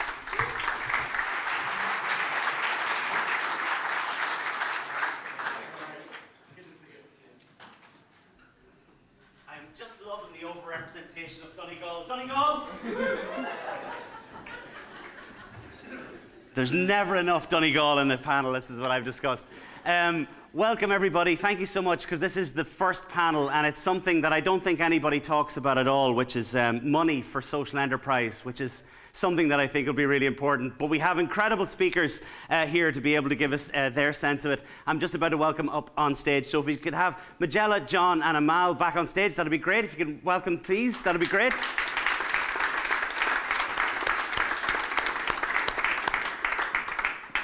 How are we? Good work. This is excellent. And Amal, where's Amal? Oh, Amal. Here we go. Here we go. So we're just going to do a brief introduction. So just maybe if you could tell us who you are and maybe the organisation that you're involved in as a social enterprise, and uh, maybe Majella, you can kick us off. So I'm Majella Orr. I'm the manager of Connacht Forbrahan Charman. So it's the Creeving Community and Enterprise Centre, and we're based in Termon, so a very rural area in Donegal. Aye, this is what I'm saying. This is brilliant. More of this, please. Uh, John. And hi, I'm John Kearns. I'm CEO of Partas, which is a social enterprise in Tallaght. We'll be 40 years next year uh, on the go, and we're involved in a lot of various methods of traded income. And hi, I'm Amal, and you all met me this morning. So I work in Paris, so if you want to visit me, you're welcome. Thank you. uh, it, that people will take up on that, yeah. Amal. Don't be, I'm be sure. very careful. um, so we did have a panel on diversifying your traded income, which I think actually, and it's been said obviously, is is just one of the most you know ridiculous questions to be asked because I, I presume you know the only thing that matters, right, is the social to the detriment of everything else. John, you agree with that, right? no, uh, uh, he's, he's just really starting to fight too early. Um, no, the, the, the, the, really important thing is because I think I've been involved in social enterprise since, since it was really emerging here in Ireland. And it's the thing that it's noticeable today, for instance, I think we've crossed various barriers. We, are all, we automatically know that we've got to have traded income uh, that we are moving from being an, a, a community group to being a social enterprise. And that's a process that takes time and it takes intent.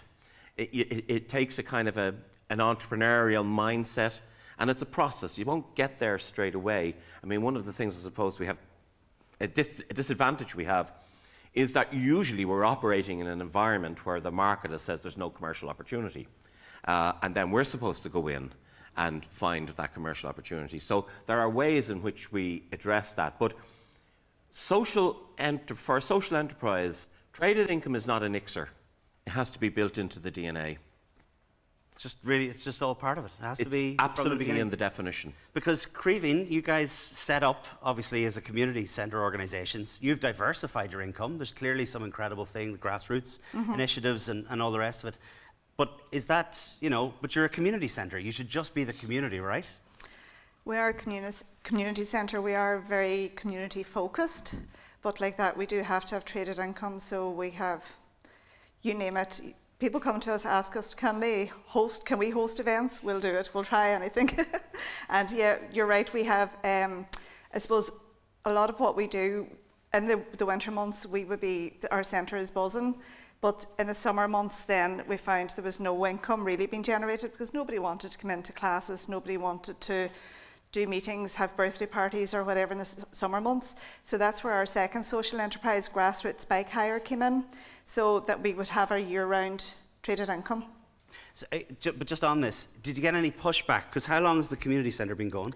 The community centre will be open 15 years now in the 1st of December. And at what point were you like, okay, we really need to make an income stream here? It needs to be like a the, the grassroots business started 10 years ago, so long before my time there. but um, definitely every year you're finding that you are having to sort of come up with new, uh, new ideas or new initiatives to try and get people through the door. I suppose our latest initiative was um, a digital hub. Yeah, which oh, has been great. Congratulations! I mean, this is a, a, a theme on the panel as well, which is good. um, but it, these these are necessary because yes. co-working became a thing. You know, People wanted the space, right? Yeah, oh, absolutely. And I mean, of course, acting entrepreneurially, you're going to be alert to funding opportunities. And there was funding through the Department of Rural and Community Development for, under our Rural Future, for the development of networks of hubs yeah. across the country. But I think the, th the thinking is to take it up from there. For instance, when we were developing our hub called the Edge in Tallaght, we decided to try and kind of integrate the community into it a little bit more. So rather than having just a kind of a reception area, we decided to put it in a coffee shop uh, and a speciality coffee shop.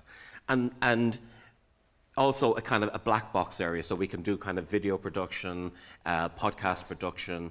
So you have now created, rather than just a hub, you've created a kind of a, a broader type hub, which, is, which includes the community. Ownership. Uh, ownership, yeah. So we're not kind of um, a ghetto yeah. for people who are co-working, but actually we're part of the community and everybody mixed around. So we've morning events and evening events and all. Which is what it was supposed to be, and it's fantastic. Exactly, yeah. And God knows what will happen as a result of that, which is brilliant.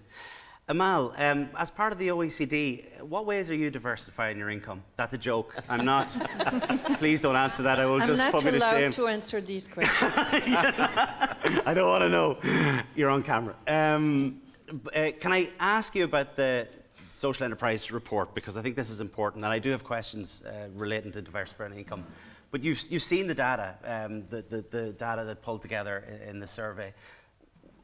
A lot of them tend to be charitable entities, and you know, you know, I, I'm really conscious of the fact that as organizations we want to be of the community but we want to be doing well and sometimes people bristle i know i certainly do and some people say I'm a social enterprise. Yeah, I'm all the social. I'm like, yeah, but don't forget about the enterprise. Or I'm a social enterprise, but I'm all about the enterprise. And I'm like, oh, but don't forget about the social. Where do we sit in Ireland? What is it? What, what struck you when you were from, from the OECD point of view for Ireland? Well, it's exactly what you're saying, which is that people are uh, engaged in this space because they want to do good. So the social mission is extremely important and sometimes um, they, they, they have also to secure the right funding for the, for, to act on the social mission. So, which brings me to the issue of how much traded or traded income do you have to have to do the social mission and how much of the non-traded income you you really have to run after in a way. So um, that's not for me to answer, of course. These are for social enterprises to, to, to look into and, and, to, uh, and to try to solve. But in general, uh, a social enterprise is first and foremost a business. So it's, it's an enterprise. It has to be run like an enterprise. The mindset of entrepreneurship has to be in there. But of course, it's a, an enterprise that's run, governed in a specific way and I'm not going to explain how it is because no, I no, but everybody. Sure. But yeah. just one thing. But the thing is, once you once this mindset is yeah. is in there, then you can. We, I can list, for instance, I can tell you this is what. Yeah. Th these are the incomes that you can you can, for instance, uh, seek if you for the non-trading part, which are grants, donations, yeah. uh, campaigns, public and private funding, crowdfunding, sponsorship. These are, you know, well-known type of non-trading income sources. Yeah. But then you have the, the trading income, and this is what yeah. I've been hearing, which is um, selling goods and services. Um, for instance, franchising could be one, and, and so on. So th this mix, I, I get it, sometimes could be hard to find. But there is a balance to strike between what you bring in as an enterprise, as a business, sure. and what you bring in from a non-business community, which are the grants and the, the public funding. So, uh, and this is a good point because sometimes you have to see, good Lord, there's a problem here. You know, we need we need more exoskeleton issues uh, in in Donegal, and therefore, how do we create a model around that and what works? We, we either start with a need and we have to like bolt on some kind of oh let's sell coffee then as a result to, to help fix this. Or the other way around which is kind of like i want to i've got a business idea i'm good at business i want to do that but i really want to help the community. And you know we've got this challenge at the moment. Just doubling down on that. Like do you see there's a, a um, an overall worldwide view of like which comes first like a chicken and egg? Yeah, uh, you're not going to trick me in telling you which, which, comes first. I think that uh, when you start a business, well, obviously the, the, the business, I think, yeah. has to come first at some point because you need to generate enough okay. income, enough prof profit I mean, and don't get me wrong, it's reasonable profit. This is we- why we- we people like go profit. into. Yeah, we, we like profit. We but like we need What to. you do with the profit Yeah, what you do with the profit and how you earn that profit. That these are the two things that really are distinctive of any other business. But um, I think th- it's for me, it's and for us, from what we have seen from other countries, it's not the chicken and egg question that's really essential. It's really you start a business with the idea that Yeah. you're going to help your community or certain groups of people or solve a specific need, and for that you gear your business towards that goal. So Yeah. that's and No. would you allow me just one minute? During the COVID crisis, we had colleagues in the, in the OECD um, that worked, for instance, on uh, the, the, the businesses, or at least businesses in our space, in this, the social economy and social enterprises, that fared well through COVID. Yeah. And they looked into the case of Italy. Yeah. And a lot of these um, enterprises were struggling with this, which is how to you know, COVID. With everybody was there was a shutdown. How do you sell your services? How do you access your customers? Yeah. A lot of them went digital. Yeah. That's one of the ways now. I think we there was no it, that's a no-brainer. We have to, I mean social enterprises have to engage in that as well. There was this I'm not going to say the digital transformation, but that's a way also to get access to customers to uh, and to sell your goods. Yeah, you can't services. close that down. No. COVID was awful, but Yeah. it did so much for, for transforming that. No, I appreciate that. S- uh, business first. Now, obviously, you know, sort of necessarily the early days of Creeving, but now, currently, running the centre, how much do you think the business matters compared to when you make a decision today? Do you go, today I'm doing environment? Oh, no, no, today I'm doing social. Oh, no, today I need to sell things. What's your, what's your hat on when you wear every day? Because this is the problem that a lot of people And deal some, with. Some days you've got to do all three. We're all three hats. Maybe, or two, or one. yeah. Right, but that's the challenge, right? It is. Where do you sit with that? It's it's everything. It's so everything's so time consuming that you really just need to, I suppose, sit down and work out. You have to get your priorities for that particular day, and they can change very quickly from morning to afternoon. Your businesses now. Yes. Tell me a little bit about the bikes and tell me a little bit about why that came about, but what Okay. difference does it make now that you have it? Yeah, the bikes came about um, 10 years ago because, as I said, I discovered nobody was coming into the centre during the summer months, so there was no traded income during the summer months. So um, the committee at the time approached Glenveagh National Park. We're very lucky that we are just located 10 kilometres from Glenveagh, so they were on board with the idea. So now, from uh, March till October every year, from St Patrick's Day to Halloween, we go into Glenveagh National Park and hire out the bikes every day, which has been an absolute lifesaver, really. It's, it's fantastic. Um, now, we're sort of the other side of the coin now is that we found from October to March, we're sitting with a shed with 120 Bikes. bikes. So now we're hoping we've started doing some work with um, adults with additional needs and stuff, and some physios as well have um, got our, asked us for their services as well, and children with additional needs as well, to try and make it that year-round income as well. So you have accessibility bikes yes, as well. we do. We have a number of accessibility bikes. So anybody can come, they can view Glenveagh Park, use a social enterprise in doing one of our most beautiful places, Donegal, like, uh, um, and, and use a social enterprise in Yes. making it happen. It's incredible. Yes. Yeah. Yeah, yeah, it's great. Uh, And the numbers have been amazing, and like that through COVID or after the lockdowns, people weren't travelling abroad. Um, we found we had people from all over Ireland who had never been to Donegal before. can, you, can you double down on one thing? You said lifesaver. It's, it's because it created such a great income stream, which was able to be reinvested back into the centre and into the people. Brilliant. Yeah. And so maintaining all those, and that's other skill sets that you have. Yes, It's exactly. brilliant. And creating employment, of course, as well. It creates three, uh, three seasonal positions Yeah. and a bike mechanic as well. It's incredible. Um, John, the, the, the, I mean, Tallaght's now transformed some of Partas particularly, and the Edge now has come on board. But there's other projects that you're building. But when you're considering any of these things, what comes first? Does it all come together? Do you have to, you know, where's the mix and the jumble of all of it? Yeah. Um, I think what's, hap what's happening now is uh, just in picking up what's, what's kind of been said by the other two speakers. I mean, it's social enterprise is now becoming an alternative economic model. Yeah. So you have a commercial economic model, you have a social enterprise economic model, all valid mainstream economic models. We've got to start thinking of ourselves in that way. Um, so and I remember kind of many years ago a definition I heard from the States, which is a very simple definition of social enterprise, which was using business methodology to achieve a social aim. So, kind of taking those two things, you're just operating as a business. You, your instinct and your DNA is social. Uh, like, so for instance, we're developing a big 25,000 square foot food hub. So it will be the first in the country to really kind of grab that European style food hub. Um, and I know that there's talk about another one coming into Dublin City, but that will be a commercial one. I'm already seeing just the way we think I mean, uh, I was on the train coming up with Amy, and we were kind of talking about, well, we'll have, we will have food training opportunities. We will have kind of the social enterprise food, mark, food academy, you know, so that, because there's actually a problem in the hospitality industry. There's not enough people working in the hospitality industry. And we've got a whole lot of people, young, unemployed, or marginalised in some way, who, who don't really leave Tallaght too much. Yes. There's 100,000 people in Tallaght, but they don't leave Tallaght too much. So we've got to create jobs for them in Tallaght. Now, if we can provide, like when we started our first coffee shop, yeah. we couldn't find one Irish barista. We now have 14 Tallaght baristas, all trained by us. Unbelievable. Brilliant. Uh, and, and we're going to hold them. There's no kind of, they're, they're not moving anywhere else because they love being in Tallaght and they love working. one, one second, take a beat, take, take a step back there.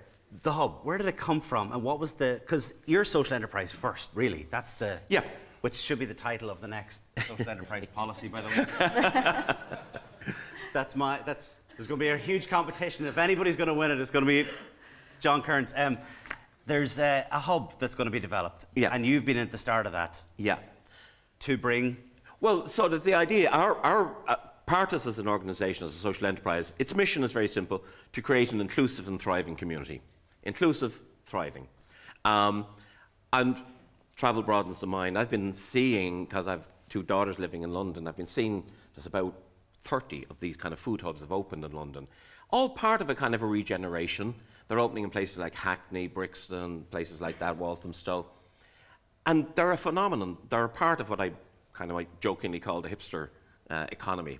Uh, but they're very much in demand, and they're very much of our type of thinking.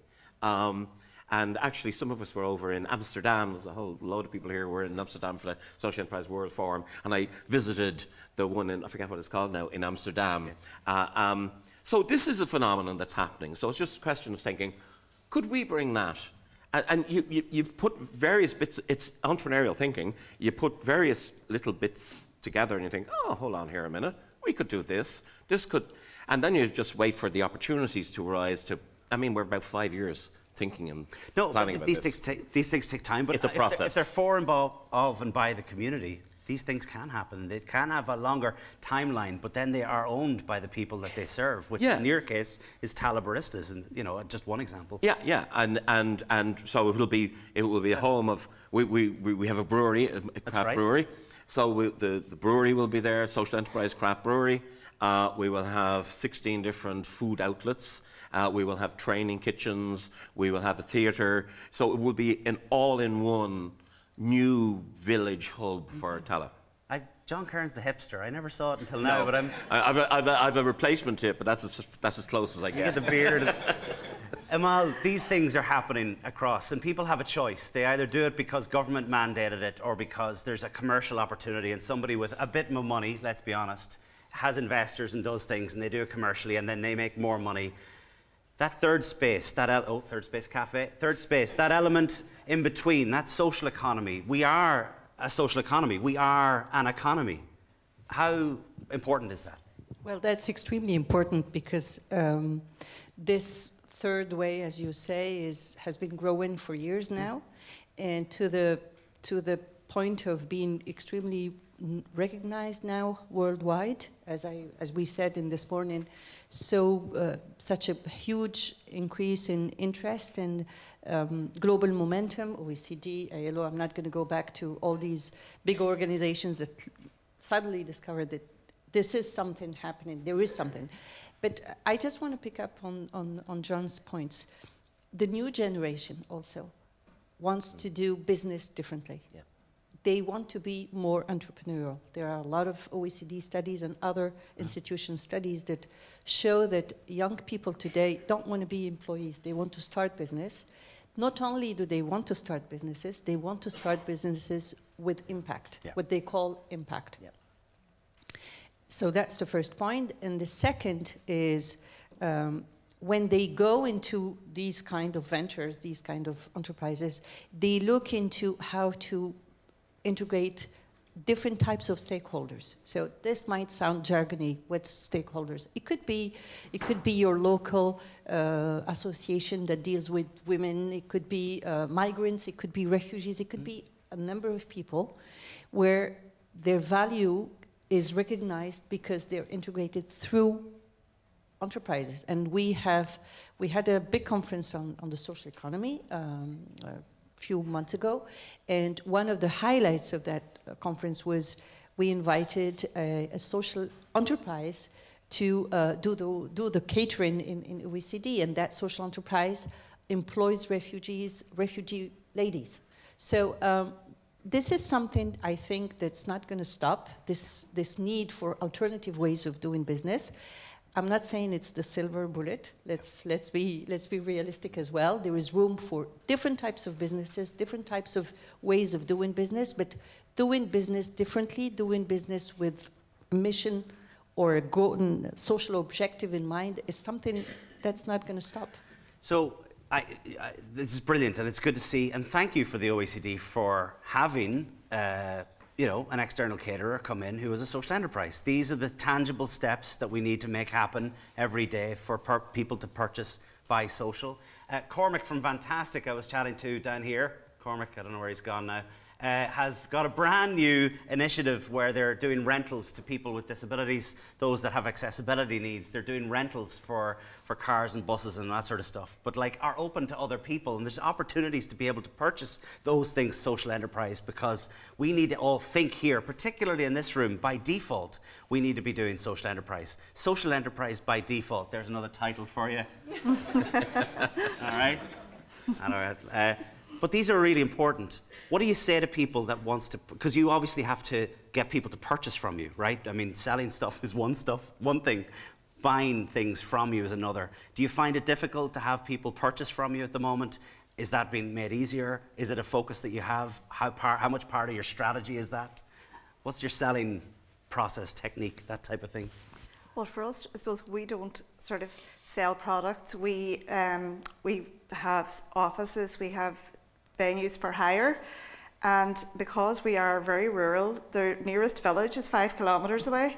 The nearest town is twenty minute drive away. So people don't have an awful lot of like for community events. There there isn't really many other places they can go Yeah. at the moment.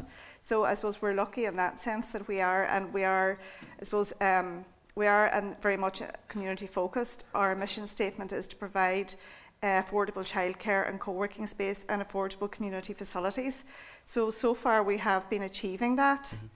Um, so yeah, at the moment we're okay in that we are there in the community and there isn't anywhere near us at the moment offering the same services, the same venue that we have or the same sort of co-working spaces, hot desks, private offices.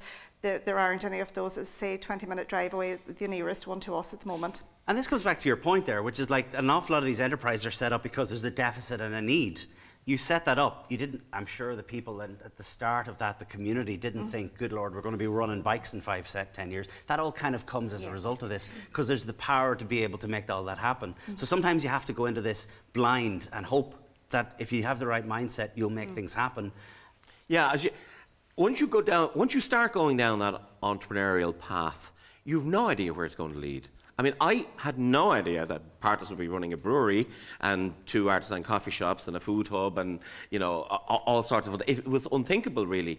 But I was kind of inspired ages ago. You'll remember, Chris, we had Jerr Boschee 20 years Jerr ago. Boschee! Boschee, uh, the godfather of social enterprise from the US. But there was a particular model they had in the US which I really loved, which is the kind of parallel traded income. So again, I meant, made a, a mention like, you know, that we're often in a, a, a kind of a, a s- a sphere where there's not great com- commercial opportunities. There's nothing says you have to stay in that sphere. You can have a parallel traded income in something that's profitable. That's an entirely profitable business, and its sole purpose is to make profit to feed the non-profit.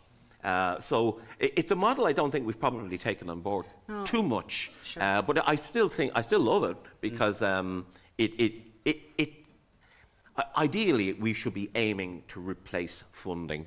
Now, 20 years ago, that would have got a gasp. Yeah. Uh, but for me personally, yeah. I look forward to the day when Partas can say we no longer need or get any yeah. funding. Yeah. Uh, we're close. But at fun, uh, ironically, the further we get away from that, the easier funding becomes. But you're right, guys. That's that's it. I think that's a good point, guys. Shut down the funding. No more, no more funding. Um, no, I really appreciate it. Um, let's just wrap it up a little bit because Amal, I know you've got some contributions, things to be able to. What, what if you think this audience here, who you've spent time with, you've stakeholders, you've spoken to a lot of us, you're getting a sense of the sector here from Ireland, and it's good to have that external perspective too to give us hope. What are the things, briefly, 30 seconds, do you think this audience need to leave with from this panel, Diversifying Income? And that goes to you too. That's a very tough one. Um, well, a clear idea of that what a social enterprise is. I think it was very well explained throughout this morning, um, because that sets the tone for you know, how the business should be done and what is it that, you know, social enterprise has to do to diversify income. And one last thing is that everything, nothing comes from a vacuum. I think you're doing, yeah. I, I, am saying it and you will see it in, in coming days. Uh, we are working a lot on, uh, on social economy and social enterprises. We've been doing that for 25 years, by the way. We will use now Ireland yeah. as an example for a lot of very good best practices on, on, this. Brilliant. We're not doing too bad. Is that what your feedback? Yeah. Okay, beautiful. Majella. I suppose not to be not to be afraid to investigate new sort of income streams, really, and um, yeah, just be a part be a part of your DNA. Explore yeah, it. Yeah, absolutely. Don't be afraid to. Don't be fair, uh, scared of new ideas. We're looking to see the hub opening in and I say, think like a business first and foremost. And, and actually, mainstream commercial businesses would never turn down a penny of funding, yep. would never turn down a grant, yep. where will, they will apply for every bit and piece of that. And I won't stop either, but I just don't want to be dependent on it. Absolutely. Uh, just to leave everybody, there are campaigns, the procurement pieces come up. Buy social is so, so important for all of this, but it's incumbent upon us that we have opportunities to know the social enterprises that are there. We don't have to purchase from them, but would you please ask them for a quote? We need to make habit changes in ourselves, and that's a good call out for everybody. A huge thank you to all of our panel for all of their insights. A round of applause for Majella, for John, and for Amal. Thank you very much. And we'll be back on the conference. Well done, Chris. Well done.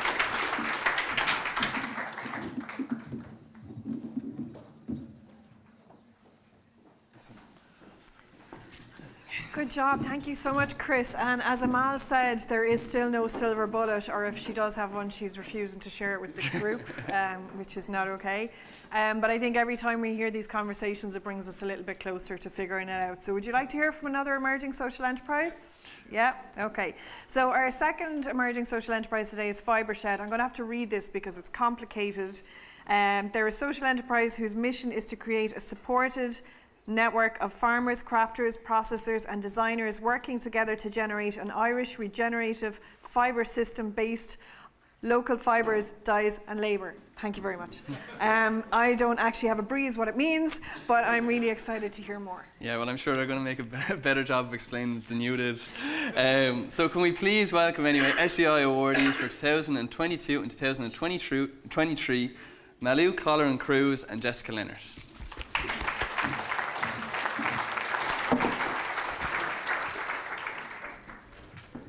I don't know if we'll do a better job of explaining yeah. it, but we'll try. all right. So, ooh, sorry, sorry about that. Um, all right, hi everyone. I'm Malou Collarine and this is Jessica Leonard and we're the co-directors of Fibershed Ireland, which I'll explain. But first of all, a show of hands. Uh, raise your hand here, who's naked right now? Yeah, I, I thought so. Oh, there's um, one in the back. Oh, somebody, okay. Um, okay, that's fine by me. I don't care. Um, well, I mean, it is a requirement that in, um, in society we wear clothes at least 95% of our waking lives. So um, clothes are as important, uh, clothes and textiles are as important to us as the food we eat. And they also play a vital role in keeping us warm and keeping us protected from the elements. Clothes are in fact our first form of shelter. Um, so we've already established that we do need clothes um, to live in society, but also it seems like in Ireland we don't just uh, use clothes out of necessity, we actually quite enjoy purchasing new clothes. So much so that per capita consumption of new textiles in 2019 was an average of 53 kilograms per person in Ireland, and that's more than double the EU average. Uh, but we also love to stay up with the trends, so we discard around 170,000 tons of textiles per year. So this is the equivalent of around 35 kilograms per person, and this is again higher than the EU average, which is 26 kilograms per person, uh, which is still quite high, um, but we're even higher than that. Um, so, and, and, then again, there's also the social and environmental implications of how even our clothes made. So it is estimated that 70% of clothes imported to, uh, to, the EU come from developing countries where practices such as long working hours, uh, underpaying uh, workers and child labor are still quite common. And also we have the issue of synthetic fibers, um, aka plastic, uh, which make up around 69% of the textiles we produce, and this trend is rising. And every time we wash these um, artificially cheap synthetic fibers into our washing machines, we are releasing microplastics into our waterways. So um, you know, the way we produce textiles is still very much uh, rooted in colonialism, because around 75% of the emissions related to the textiles we consume in the EU are actually emitted somewhere else in the world. Um, but of course, our reliance on foreign exports of clothes um, also has very real consequences right here on our doorstep. So I am many things. Um, one of them is a fiber farmer. I have a very, very small farm. Um, but as I was setting up my farm and setting up my farming system, I got to know other farmers and started to, you know, share resources and tips. And uh, the more I learned, the more I started to see this common theme emerge. Now, many of the farmers that are my friends um, are, are caring for animals that have a very, very fine fleece. And it's so soft that in finished garments, you wear it next to your skin. But what I learned is that most of these uh, fleeces, you know, no one's wearing them. Why? Because they're sitting in bags and sheds. In fact, we have thousands and thousands of bags of this gorgeous fleece just sitting, rotting away in sheds. And if we zoom out from my friends and myself and look at all of the sheep that we have in Ireland, um, which is about 4 million, we have a lot of wool. And where, you know, it, it, about annually, I think we have about 5 million kilograms of wool produced. So where is that wool? It's sitting in bags and sheds, and it is shipped out of our country as a waste product. So, can I ask you, would you all recognize this as an Irish jumper? I, I bought it here. it was sold as an Irish jumper, and it does keep me warm in Irish winters. Um, but this is not Irish wool. So, um, what, what, we, what we have here is a, a, a massive gap in our system. And our farmers are losing money on this. So they're putting in the cost of shearing, they're not getting a rate of return. Um, one of the other things I am is a biologist, and I know that we're also putting in massive amounts of costly inputs into our farming system. These are external inputs that are degrading our soils instead of building them. They're polluting our waterways instead of cleaning them. They're emitting carbon into our atmosphere instead of sequestering it. And and essentially killing off you know, the wildlife that supports all of us. So a drive to do something about this is what brought me to Malou and to Fibershed Ireland. So what is a fibershed? Um, imagine a watershed, which is a region uh, that kind of produces all the water that, that a specific area requires. And so, you know, if we translate that to fibers, we've established that Ireland is our fibre shed. Ideally, we would like to get all of our textiles grown, produced, and made within the Irish fibre shed. So um, this is a movement that started in California in 2009, and in March 2022 we established the Irish affiliate uh, with the idea of uh, building networks to craft a regenerative textile system based on Irish local fibers, local dyes, and local labour.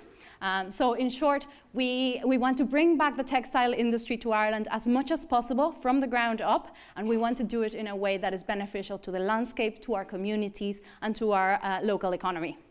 So the way we do this is through four main pillars. We promote networking among all the stakeholders in the textile industry, so from farmers to crafters, brands, um, consumers, everyone that is involved with textiles, and that's pretty much all of us because we're all wearing clothes. Um, we expand opportunities for regenerative farming to support the farmers like Jessica that are transitioning to uh, farming systems that are beneficial for the landscape and for biodiversity. We research avenues for regional fiber processing facilities so we can actually turn the fiber we already grow in the island into lovely and diverse yarns, such as the ones I'm holding in my hand today. And we also engage in education, research, and advocacy to shift policy and uh, public awareness and industry towards reducing textile waste and pollution, and also to um, increase awareness and appreciation for our local fibers that we have in this beautiful island. Um, so when we close our eyes and we envision the future we want for this place, we see um, biodiverse ecosystems and thriving livelihoods woven together by culturally vibrant Irish fibres. Now, um, we do all of this within a soil-to-soil system, and um, this lovely board here represents that system. now, I'm sure the few of you in the front can see this. For anyone beyond that, I'll, I'll give you a hint, it's a circle. So what we have is we're starting um, down here. If we were to go back to my jumper and put my jumper into this uh, soil-to-soil system, we'd be starting, oh, brilliant, you can see it, lovely. it's magic technology. Um, we would be starting with our farmland and carbon sink. And so this would be the, the wool that uh, um, is produced by the sheep is ra they're raised in these biodiverse farmlands. They are uh, building healthy soils instead of degrading them. They are sequestering carbon into our massive amounts of grassland instead of emitting it.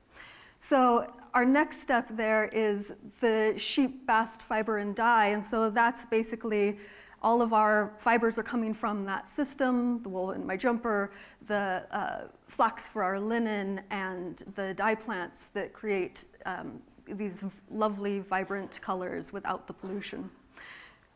Our next step is the fiber and dye processing, and that's basically what we're doing here is connecting the people who can take this raw fiber process it, connect it with the people who can make this yarn, connect it with the people who can make the jumper. So we're the ones helping to bring this all together again. And as you know, Lou was pointing out, we are kind of fueling this revitalization in what used to be a thriving textile industry. And it's doing it by making all of those connections. We then work to support people to keep the finished garments in use for absolutely as long as possible through mending, through recycling the materials, through um, you know, reselling or swapping. And then finally, because this is a miracle material, when it's at it in, its end of life, it goes back into um, the soil as compost, and that goes to create fertile soil that then grows the next jumper. So the key point there is that this jumper never becomes trash. It's never shipped off to pollute someone else's community. It completes that cycle. And so we're working to bring all of those pieces together. We're actively creating a network to do this. Um, in fact, tomorrow we are hosting our second annual uh, Fibershed Symposium. And we have, what, 80 people in a hall coming together in person, hundreds more online who are from different um, you know, backgrounds and ages, all coming together to learn and to connect with each other. We have been developing our strategic plan, fine-tuning it, and they are eager to take those next steps with us. Uh, but we do need your help. And so please, let's not let's not cut off the funding yet because because we need a bit of that right now. We need uh, that boost to get us to the next step. And specifically, you know, we're a team of seven volunteers. We need the funding to be able to devote the time and resources necessary to be able to continue to build this movement.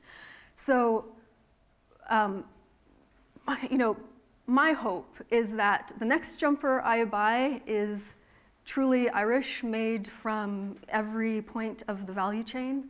And you know, my even greater hope is that, you know, looking at rooms like this, filled with people like you, that we will all be wearing Irish-made textiles that are supporting thriving communities and, uh, and a healthy environment for generations to come. So thank you very much. Please come talk to us at the break.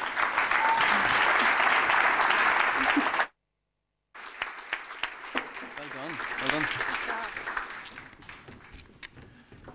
Well done, well done. Taking on no small task, completely reimagining the textile industry. Thank you so much, ladies. So, our second panel today is a really interesting and important one. And as we all know, technology has brought many challenges to the world, but it's also brought lots of really exciting opportunities. So, the introduction of technologies such as AI has left a lot of us feeling a little bit anxious and some of us feeling excited. The reality is, the way we work has changed and the entire world has become our oyster, so there is much to learn. Here to host the conversation and ask that very question, will technology change the work of social enterprises, is SERI board member and tech whiz Michelle Fogarty, Fogarty who will introduce the panelists. Great. Thanks, Thanks, Michelle. Thank you, Michelle. Thank you. Hi. Uh, good morning, good afternoon. It's really hot in here, isn't it? Yeah, I know. Everybody's feeling, and we've got the lunch lag, which is like the worst slot, which John has given us. Um, I want to introduce you to. I'm just keeping an eye on stuff here. This is the tech whiz and me, not. Uh, I want to introduce you to uh, Sam, who is uh, Sam Marchetti, who is the co-founder of Consortia Co. And they're all they're all. Um, all difficult names here. Melis, who is the policy analyst for the OECD. We have Patrick, who is the co-founder and CTO of Amacetia. See? And finally, Porrick, who's the co-founder and CEO of Jumpagrade and also the co-founder of Nurture. So maybe before we get started, because I know like the energy is starting to dip a little bit, can I have just by a show of hands, who here currently is using AI technologies in their social enterprise right now? Okay, few. Nice. We may pull you up onto the panel. Who isn't using AI or emerging technologies but is really feeling like they're being left out and is mildly afraid? Okay, a good show. Okay, so hopefully this panel will help anyway. Brill, well, I might just to kind of kick us off, just ask and kind of throw it out to the panel here. You're all running uh, businesses which have embraced technology, particularly on the AI side. Maybe just start us off, tell us a little bit briefly about your, a little bit about your, about your company and, and kind of how, how it all fits together from a tech perspective. Sam, I might start with you and we'll work course, our way up yeah. and down. Absolutely. Good to connect to everybody here. Delighted to be here. So we run a sure. accelerator type uh, consultancy out of Cork City called Consortia Co. And in essence, that's a collective of consortiums. So we bring people together to collaborate, and through those collaborations, aim to drive business development and growth. So we do that for for-profits, not-for-profits, and by direct engagement with local government and public sector. So a lot of work we do around the uh, use of AI and artificial intelligence is teaching people how to write tenders using AI, but also working with government agencies and basically training them on how to evaluate tenders that might have been written with AI. So we're playing both sides of the field wow. and trying to balance it out as best That's as possible. That's interesting, isn't it? Mm. Melis, we might ask you a little bit. Yeah, I can go back to your previous question as well, and we can promise that we didn't write the report using ChatGPT. we can all for sure, but yeah. So we'll as, see. As the, as the OECD, Sam will check. so as the OECD, our focus is really on making sure that policy can help uh, AI to can help countries to capitalize on AI while making sure that it remains central to human values and yeah. democracy. So we have a policy observatory, we have a recommendation principle. So we're really trying to urge countries to make sure that they really keep this beast kind yeah. of under control while not limiting it because it, it's something that learns what we teach it. So it's yeah. very important for, from the policy side to make sure that uh, we really are using this technology in a way that is respectful of human rights, that is respectful of democracy. So that would be my ah, two cents thanks, for this. Melis. That's brilliant. Patrick. Hello, everybody. Thank you. My name is Patrick Mulval. I'm the co-founder of a hybrid social enterprise, MECTIA. We're based in Athenry. Um, and our enterprise partner, Ent Independent Living Ireland, we provide technologies to support older people and people with disabilities. So mm -hmm. we work across networks of hospitals, nursing mm -hmm. homes, and uh, social care organisations.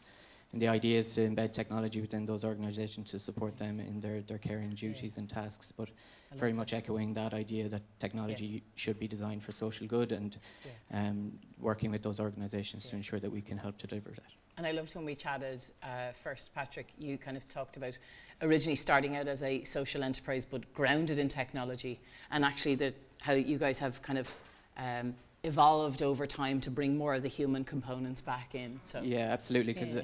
I, I, worked as a web developer myself for yeah. a number of years and then when we started this organization, myself and my father started this organization, yeah the, the more we deliver technology, the more we need we recognize the need for social support structures around yeah. those technologies because sometimes the technologies can in themselves be isolating. So yeah. some people might see the technology in a, an old person's home and forget to, to check in or whatever. Brilliant. But there's a real need for those so social infrastructures, and I think lots of people in the room are working on those. So collaborating across those is very important too. I love that. Brilliant. Thanks, Porrick. Um, so I'm Paul Cogan, co-founder of Jumpigrade. Uh, we're based out of the University of Limerick and uh, provide targeted one-to-one tuition to students from underrepresented communities. So think of online grinds, um, but for students that may not be able to access those, so whether from their family background or where they may be based even. Mm.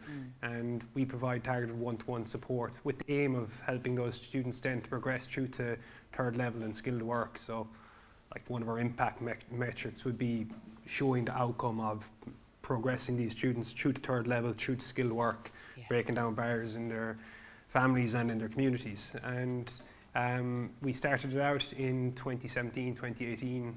Conscious there's quite a number of local development companies here. We'd, we'd have worked with a lot of local development companies over that period of time from and iterated and developed around the support of those local development companies. So I just wanted to recognise that. Um, nice. But the ambition for Jumpigrade is to become a national service to students that need it most. And um, what underpins um, Jumpigrade is our teachers who deliver the service, but then there's the technology that sits between the teachers and the students. And the technology, obviously, um, you came from Learnovate yourself. Yeah. Uh, we'd research that was conducted back in 2019, 2020 that looked at um, how to deliver effective feedback to students in a digital environment. And uh, that became a technology in itself. And we spun out uh, Nurture, which I've co-founded also alongside um, David, who co-founded Jumpigrade with me, and Nurture is an Enterprise Ireland high potential startup. So on one end, we have an Enterprise Ireland high potential startup, which is embedding AI, embedding technology that sits in between uh, our Jumpigrade teachers and students, um, which is a not-for-profit and in the process of becoming a charity. So it's a very unique scenario where you have a service and a technology that uh, one is a charity partner to the technology, one is a technology to the charity. Um, but very. That's great. It's a, we, we won't open that can of worms, but we'll put it on next year's agenda, yeah. John, to talk about what is enterprise. but uh, I'll, I'll keep stump and be good. Yeah, John's like sheep's crook, get her off.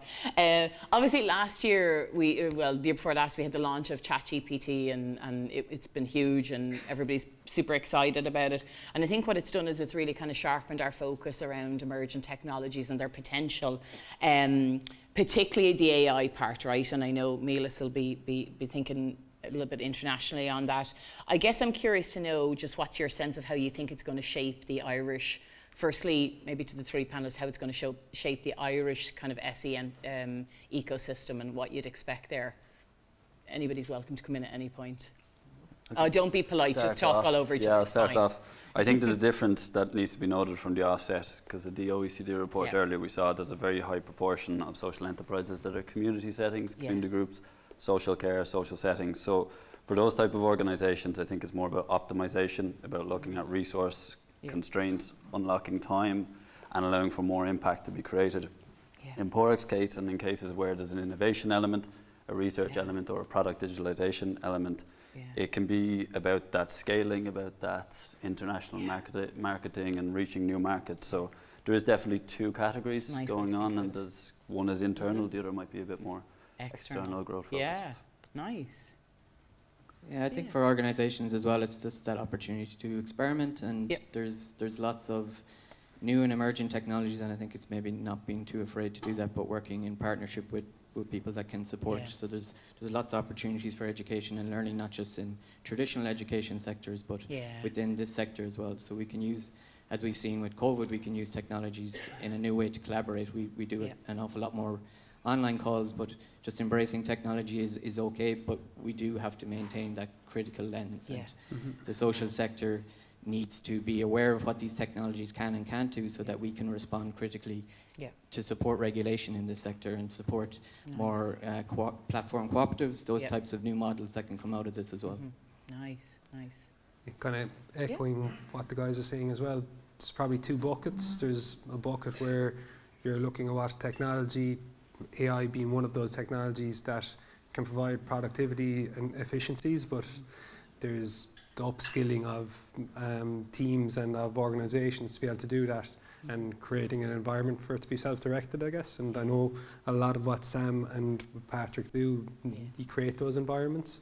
Um, but then there's also the bucket, and probably which is a little bit narrower, but regards to scaling, is the potential of what technology and AI can do regards to differentiating what uh, a service can provide or technology can provide. So trying to categorizing it and looking at it from both angles of efficiencies and looking at it from the perspective of differentiation to an organization also. Mm, nice.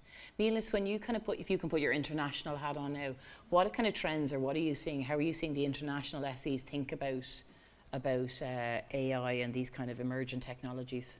So this is a topic that can be either black or white or not not so much. So the way we look at it is that yeah, there are advantages, there are disadvantages, but we've been focusing a bit on the advantages, especially in the context of platform cooperatives. So we Okay. recently had two papers on platform cooperatives. These are basically platforms, online apps or websites where you sell goods or services and that are just like other cooperatives owned by members or workers. So in the case of these platform cooperatives, what we observe is that compared to the conventional private sector way of capitalizing on data, Yeah. uh, they, they rely on open source data not to uh, use data as, as a product to sell or market, but rather they use it to improve their governance structures, for example, or improve the working conditions of their workers. Uh, I think it's estimated around 500 that we have uh, platform cooperatives around the world, and this has become even more of an issue with the after COVID, where I mean I'm pretty sure it was the experience in most countries where we started uh, ordering online like crazy, and then the working conditions of, of delivery workers have really become an issue because obviously there was a significant decrease in their well-being, Yeah. and and then regular online uh, companies. I'm saying regular versus platform cooperatives, which is a very, very bad way of looking at this. But then platform cooperatives really prioritize, put at the core the interests of their workers and members. And through that, we see that it is possible to still make use of technology while acknowledging that, the, that you can protect against these negative externalities. Yeah. We also see this in the housing sector where the rentals and online rental platforms are actually having negative externalities on the local community mm-hmm. well-being, whereas social enterprises such as Fairbnb are Mhm. responding to this by saying, well, we use technology as well, but we use to improve decision making, improve participation of local people, stakeholders, as well as our workers in our systems. So still we see a positive trend in making sure that uh, the, the technology is not something that is just putting social enterprises at a disadvantage compared to conventional enterprises, and instead it can actually position them as active players responding to the externalities that are brought about by, by mainstream uh, companies. Nice. That's really interesting, isn't it? Um, I guess if we just kind of build on that now, then what, what, like, what advice would you guys have, or wh- what advice would anybody have here for a social enterprise really looking to kind of implement AI or a real emergent technology into, into their business to innovate um, yeah, where, where for, for the people, there's some people here that are already using it, but there's others of us that are kind of going, we know we should be doing more. What advice would you have? Maybe I might start with Sam, if that's all right. Yeah, absolutely. I think like all knowledge or expertise in a business, it's trying to get that de-siloed away from one individual or uh, you know a, a, select number of individuals. So to try and share the knowledge among the mm. business. So what we've done in our business is we've trained all the staff up on ChatGPT specific to their workflows, specific to their outcomes. Yeah. Um, with that, it creates a bit of an opportunity for social enterprises. You mentioned worker well-being, yeah. and a lot of social enterprises I would work with would have very high, high pressure, yeah. high constraint sort of environment. So if you're able to look at employee well-being and organizational well-being through AI, mm-hmm. through upskilling, through making it a bit easier, but helping an individual with their career development and with their ability to mm-hmm. be the best they can in their own role. So the two are, are synchronistic. Yeah. Get the knowledge out of just maybe one person who's using AI, mm-hmm. train the team where possible, mm. and then with that, try and incorporate a bit of employee well-being yeah. by supporting their personal and professional development. It's interesting, isn't it? Because we tend to have this thought of like when we think about bringing AI in, about like the really big fancy things like the LLMs and you know all the big you know machine learning and all that stuff. But actually, you're talking about very simplistic things. Mm.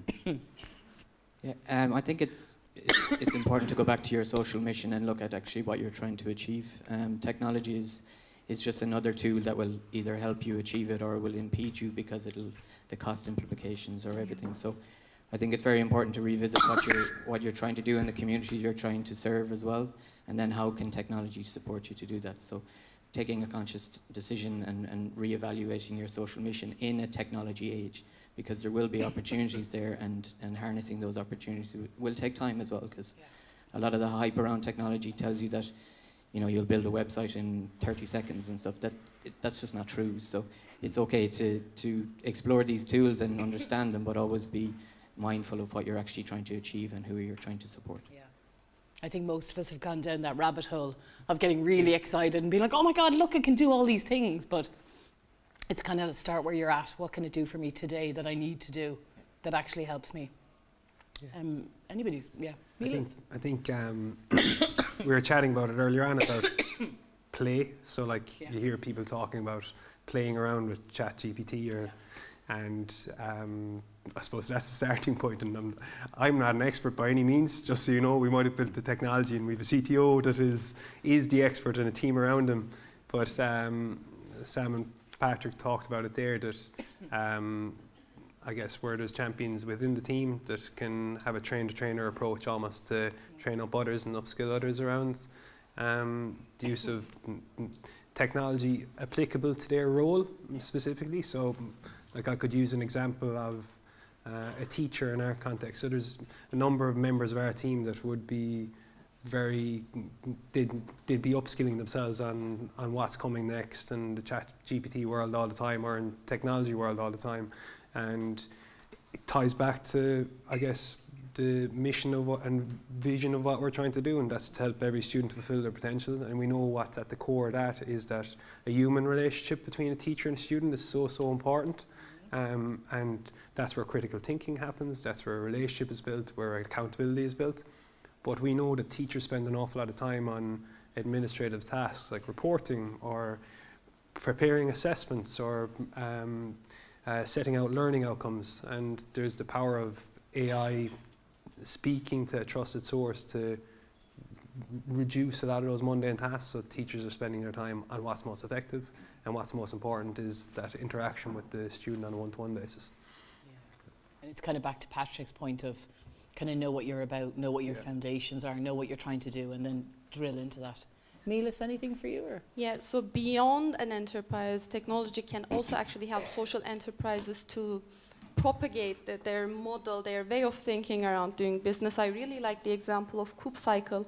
It's a federation of worker cooperatives operating in the bike delivery sector, and they have 33, I guess, local cooperatives, and they have a open, uh, they have a licensing system, and they have a software where cooperatives can use to, for their certain, it's to do their daily operations, also do their accounting, also do their HRs, etc. But they have a requirement to, to that says that uh, to use our license, you have to be a cooperative or Mm. commit to become a cooperative. This is a clever way of incentivizing this shared ownership, uh, cooperative spirit by using your technological uh, resource as well. And we're not just talking about teeny tiny enterprises. We have other examples from Canada. We have fleets over 1,000 vehicles operating as a cooperative using technology. And I really have also like this example from New Zealand, which is Loomio, and it's it's a social enterprise itself, but it's helping other social economy entities with their decision-making processes to make sure that instead of using technology to rate who is the quickest, to rate who is the best, it's to make sure we involve them in the running of the business per se. So these are really very promising examples that we see across the world that can help also disperse this idea of doing something for the betterment of so societal objectives. Um, Sam, could I ask you one quick thing before we get to our just final, final question? Mm. You're working with companies every day of the week implementing new technologies. What's the number one pitfall that you would say most fall into? I think an over reliance on the technology. I'll use myself in that example Mm. because I we I think we Yeah. coined our uh, ChatGPT Bridget as a team member. I think it was Bridget's Day, so Right. I know more or less the date, early February, Right. um, just so we could all refer to the ChatGPT in a bit more of a humanistic way. Yeah. I was on a call with a client this week and I jumped on and I multitask all the time. So I was chatting to the client and as I was talking to them, I was also pulling up my ChatGPT to run a query and uh, ChatGPT changed. The whole interface was different.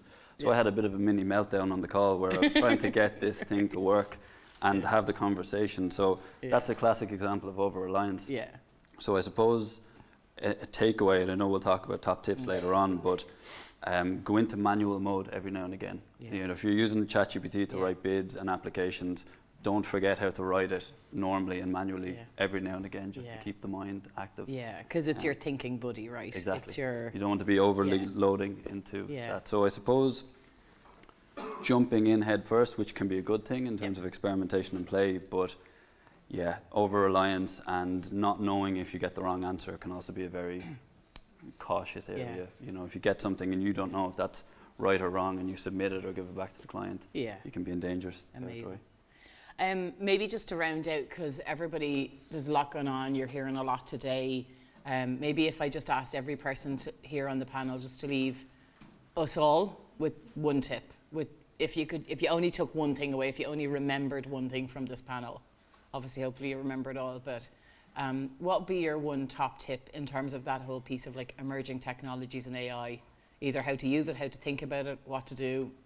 I'm easy, I don't mind what the top tip is. Go. I start? Yeah, go.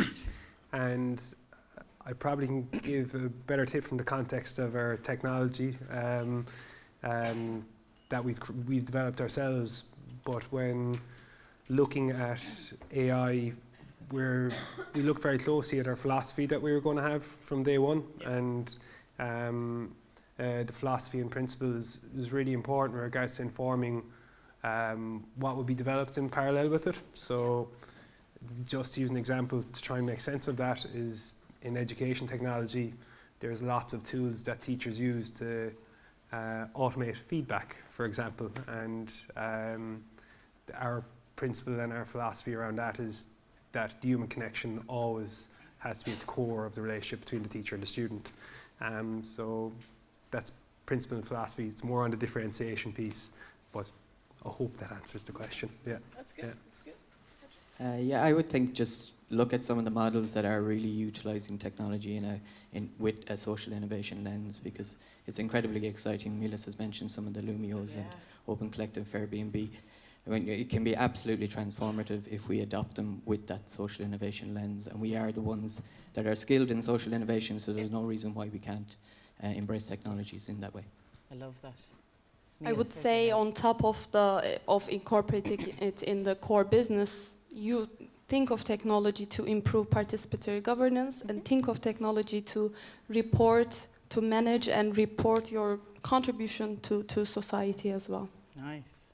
Sam. Yes, I suppose myself a very practical tip, but if we zoom away from AI just in terms of digital technology, automation, even the likes of a CRM or something very simple, um, map it out first. Like map it out on paper, map it out with your team, and look at what you're actually looking to.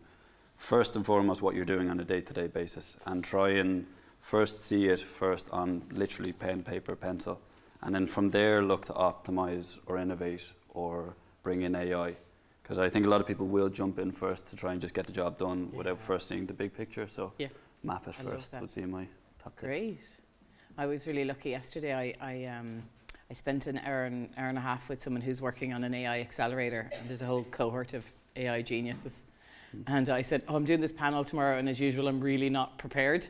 Um, I know it's been pretty obvious, but we've won the crowd over, so we're fine. and uh, I said, What would be one top tip I should give people? but uh, that's just called uh, crowdsourcing. Yeah. And, uh, and uh, he said to me, He said, my, my top tip, he said, Michelle, was he said, Ask ChatGPT how best to use ChatGPT. And I just thought, oh shit, yeah, that's a really great idea. so with that, we're done. Thanks a million and enjoy your lunch.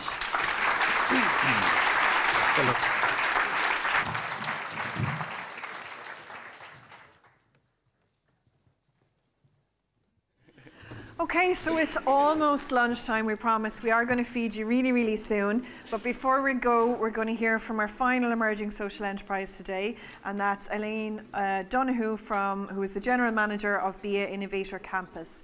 So if you don't know and if you haven't heard of her before, BIA is the first food infrastructure project in Ireland. Why do I keep getting the hard bits? um, that clusters food sector and innovation supports in one location. The campus spreads over 2,301 square metres and supports over 40 on-site businesses. Yeah, you had me in food. I'm pretty hungry, all right. And here to get us in the mood for lunch is Elaine Donoghue.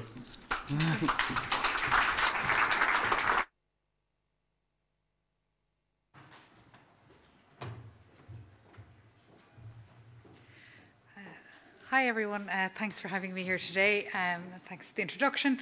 Um, I'm here just to talk to you a little bit about the BIA Innovator Campus. Um, it's a not-for-profit social enterprise uh, based in Galway, uh, in Athenry, and it spans over 29,000 square foot in space and has a full team uh, to offer support services to the grassroots food industry in Ireland. When I talk about the grassroots food industry, I'm talking about, uh, I suppose, the key level at the bottom of the food chain, whether it be the farmer, fisherman, food uh, manufacturer, chef, anyone who's working at that base industry who wants to grow or progress their business and currently maybe struggles to navigate how they do that. Um, when you think of these type of people, they often wear many hats. So in the morning, they could be producing cheese. In the afternoon, they're dealing with customers. So it's very difficult for these type of micro and small businesses to wear so many hats and to navigate uh, the business world and ensure that they're, first of all, economically sustainable, but also uh, socially and environmentally into the future as well. Um, the challenge that these businesses have is that they sink an awful lot of their initial money into capital infrastructure. Food is highly, highly regulated as an industry, um, and to meet the requirements for your business in food production, it involves a huge amount of capital investment. And sinking your money in that area doesn't necessarily grow your sales or grow your business or provide an income for you and your family. So, uh, our campus aims to provide that uh, instead of investing your money in capital, that you use our facilities instead, uh, especially at early stage when you don't know if your business is viable or not. Um, but also then to provide the support services and expertise that they don't have the money to access or the know-how um, to really make sure that their business is sustainable into the future. Um, the key challenge, I suppose, is that risk element. So, you know, you don't know if your business is going to work out, but you really want people to enter this stage of entrepreneurship and really be successful at it. So it's important that you wrap those supports around this key community in Ireland. Um, when you think of agriculture, it is one of our key indigenous industries. It's the backbone of many of our rural communities, um, which is critical. Like in Galway alone, there's over 12,000 farms, and you know when you think of uh, the social infrastructure around rural communities, it was always based around agriculture and food. So we would like to think that these food businesses that grow and develop or get even unstuck by our support uh, can help grow jobs in these rural areas and allow people to, to live their lives in these rural communities and provide jobs at a local level. Um, in 2022, we um, dealt with over 880 food producers through our bread and jam programme, which was very much focused around inspiring, motivating these food producers, but also helping them with the bread and butter of running their business. Um, we initially started out to work just within Galway in the west of Ireland, but in 2022 we were dealing with food producers in over 22 counties, which we're very proud of. So it shows that there is a national need for this service. Um, and we carried out in 2022 over 50 workshops, events, inspiration events to really, I suppose, motivate and activate the sector, which is critical. Um, this wouldn't be possible without our founders and our funders to date. So um, our founders are Galway County Council and Teagasc. Teagasc are the National Agriculture and Food Development Authority, uh, and their key areas that we would utilise are their food science element, but also their um, farm advisory services who advise so many farmers around the country. Um, Galway County Council are very interested in economic development, rural development and community development. So really, you know, how do we grow jobs in rural areas and support the, the rural infrastructure that's there? Um, we're based in Athenry and we are after constructing an 8 million euro campus facility. It consists of three buildings, over 29,000 square foot, and it offers the food community an opportunity to become really professional. When you think of Google, HubSpot, all these tech companies, they have professional space from which to sell their business from. Often with these small and micro food producers, it's their kitchen table that they bring their food buyer from Dunnes Stores to see their manufacturing and, and do business dealings. Um, so the, our campus provides manufacturing space, all the wraparound professional spaces that you would need for running your business, whether that's the buyer showcase room, uh, new product development areas, um, podcast suites, um, and a business engagement zone in general. So I suppose we're trying to professionalise the industry and help the foundation level uh, move up a gear so that uh, this industry can be sustainable for the future. Um, our funders, in order to do this, 8.2 million euro is a difficult uh, um, figure to achieve. A huge amount of investment and expertise has gone into this, but it wouldn't have been possible without the Department of Rural and Community Development, who funded over three million of the campus uh, and understood the wider knock-on impact this is going to have. Um, but also, I see Galway Rural Development are here today as well, and they've provided significant funding through the LEADER programme um, for the fit out of our campus as well. So we've managed to get this far on the capital end of things, and uh, we're having our official opening in the new year. Uh, we're really focusing on gearing up now our operational side of the house, um, and we've been lucky in our activity so far. We've had a huge amount of support to deliver that. Um, so into the future, when we focus on operations, the key challenges that we will have in trying to fund that and support that is obviously uh, our facilities are high cost to run and our expertise is unique. You know, this um, expertise is not really available. It's very difficult to procure for the food industry, so it's important that um, we support them to get access at at a level that they're able to afford uh, into the future and that we can sustain our business as well. Uh, the challenges that we would face in general is, I suppose, trying to find match funding um, for a lot of the applications that we, we write. Uh, also multi-annual funding so that when you start an initiative that you can continue it and really drive the impact and create that piece of magic that we've done to date. Uh, but it can be very challenging in trying to keep that going, keep our staff going and all the different areas around that. Um, so I suppose when you talk about the services that we provide, I talked earlier about the many different hats that a food business um, wears. And you know they have to they have to be good at making their cheese or their product but they also have to make sure that they're making a living wage to support their family and and their own costs you know. So it can be anything from commercial support technical manufacturing uh, science uh, sourcing machinery ingredients um, areas that they don't have time to delve into in detail, but that we have access to all that expertise. So when someone comes to us, we provide them firstly with an open door welcome so that they know we're there to support them and we will figure out uh, their needs and requirements and help them through whatever stage they're at. Some businesses are just stuck, others are starting out, and they all need that motivation and support.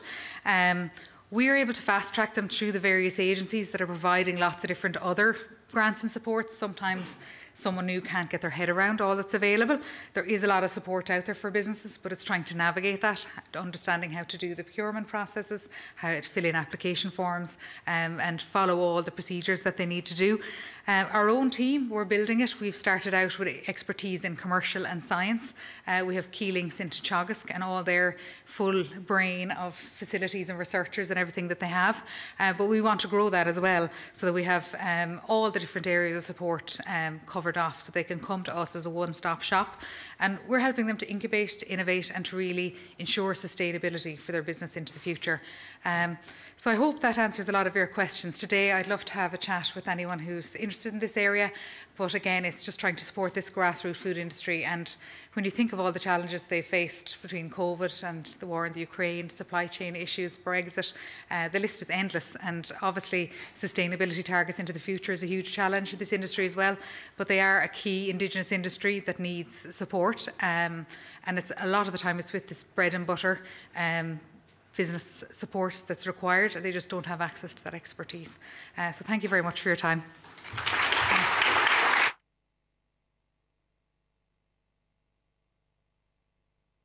Very much. Thanks very much for that, Elaine. Um, so now, I'm sure you're all glad to hear that lunchtime is upon us. Um, and for those of you who've been joining us online, it's time for us to say goodbye to you. So thanks very much for joining us.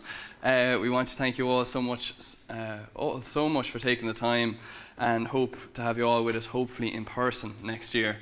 So from myself, Tammy, and the team, take care. For those of you that are with us in person, the news regarding food is if you leave the room here and take a right, the SERI team will show you where to go. Grab a seat, you'll be given soup and sandwiches at your tables. And if you have any dietary requirements, just let us know because we we, we will look after you. Um, we do need you back here at 10 past 2, and we're going to be really ruthless about that because we need to make sure that all the speakers have their time. And I know there's quite a few of you getting buses and trains, and we want to make sure that nobody misses their bus and train. So if you can all be back at your seats at 10 past 2, that That'd be great. Enjoy your lunch. We'll see you soon. Enjoy.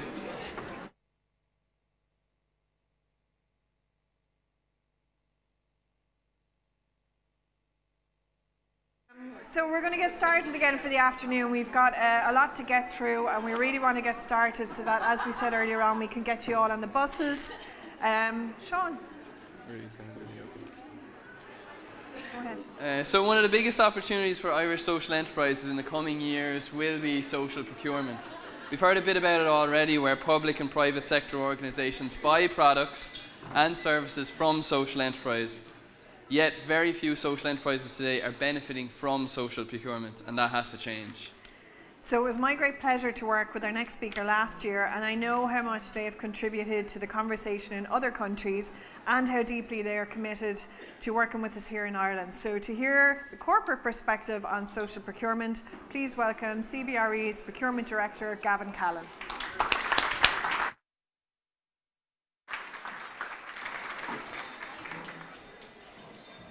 Thank you, Tammy, and thank you, Sean. So I'd first like to thank all the Donegal people in the room for bringing lots of energy. Is there any Donegal people back here from lunch? Okay, lots of energy from Donegal. Um, any dubs in the room? Ooh. I heard that, Sean. Lots, lots of dubs energy as well. And I'd personally like to thank the people of Donegal for giving the Dubs lots of energy back in 2014 when they beat us by 314 to 17 points in Croke Park and gave us the kick up the backside that we needed to go on and win six Sam Maguires in a row. So thank you very much, Donegal, for bringing so much energy to Dublin and beyond. Um, folks, my name is Gavin Callan and I am the Procurement Director for CBRE um, in Ireland. And the question that I'm here to pose to you today is an opportunity for social enterprise, corporate social procurement. And there's a question mark at the end of it, and hopefully in 10 or 15 minutes' time, it'll be a slam dunk exclamation mark as opposed to a question mark, because it ain't a question, it is an opportunity. And I'll take you through in a couple of slides why I think it is. First off, who the hell are CBRE, says he. Um, in short, we are the biggest uh, real estate company in the world. We're in pretty much every country. Um, we have two main parts of our business. One is the advisory side, which is a transactionary side. So if you are buying a hotel or buying a shopping centre, um, you quite often might see a sign like this on Shop Street in Galway or Patrick Street in Cork or Grafton Street in Dublin or in the field in Mullingar. Um, and that's our advisory side of the business, and they basically sell land and, and, and buildings. I sit in the, the global workplace solutions part of the business, um, and what that does is effectively we manage the workplaces of tons of big corporates in Ireland. We have 100 clients in Ireland. We turn over about 250 million um, euro in, in revenue.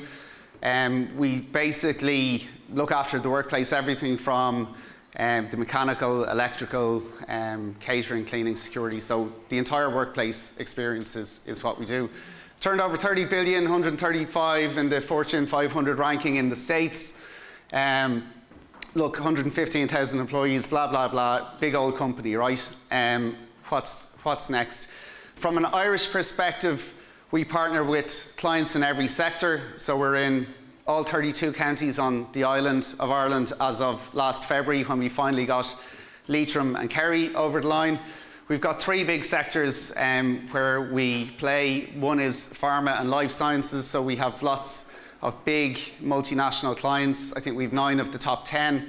Um, the Ringaskiddies, Westports, um, you know, Carlows, all of these places, um, we, have got lots of clients there. We've the tech sector where we're heavy on, and data centers would be the, the, the final one. Tech sector is all over the country, and the data centers is generally around the M50 belt. So that's kind of who we are and what we do. Um, why are we interested in social impact and why am I here today talking to you about um, social procurement? I guess, look, our supply chain and what we buy is a very important pillar of our social value framework. It's about making conscious decisions about who we work with and how we buy to ensure we're creating benefit for people, for stakeholders, and society as a whole. So having a socially equitable supply chain enables us to intensify the level of competition and spur innovation. Diversity of thought brings about innovation, and social enterprises bring a clear diversity of thought to our supply chain. It assists our clients in meeting their diversity goals, so increasingly our clients are coming to us. Um, spoke to one on Tuesday they had 11 questions back on a new business opportunity, three of them related to diversity, equity, and inclusion, and how we can instill and demonstrate social impact in our value proposition to our clients. So, increasingly, these clients in all the sectors on the previous slide are now asking the question in the private sector to say, what are you doing that is socially impactful and, and different? And then finally, we can drive a positive economic growth and impact in underrepresented communities and in the fingers and toes of Ireland and not just in the big urban centres. So that's, that's why we do it. So, our commitment. Um, we've made a commitment to spend $3 billion globally with diverse suppliers by 2025, and we're actively engaged in meeting that commitment. So, quite often, the first step for a big corporate with you know, big numbers in, in terms of turnover and profitability is appointing a chief responsibility officer who actually cares about it. So somebody who sits on the board, wherever that may be, be it in the, in the States or the UK, Germany, China, whatever it is, but unless you have a chief responsibility officer, you're never going to be bought in, and that is never going to fully flow down into your organization. So we did that back in, in 2020, and we have a vice president of global supplier diversity, equity, and inclusion and all of our diverse spend, including, so, including social enterprise spend, rolls up and is counted. So in 2021, we hit $1 billion globally. And as I said, look, we have to hit $3 billion by 2025. So how does that play from an Irish perspective? Because I'm here and I'm talking about dollars and I'm talking about boards in the States and you know all, all this good stuff. So translate it into Ballinasloe speak for me, please. Um, Two years ago, I reached out to SERI um, and hooked up with, with Tammy, and we stole with pride an idea from the UK called the Buy Social Corporate Challenge, um, which was founded in, in 2016. And we launched it with the intent of building a, building a, a, a challenge that really enables social enterprises to engage with the corporate sector.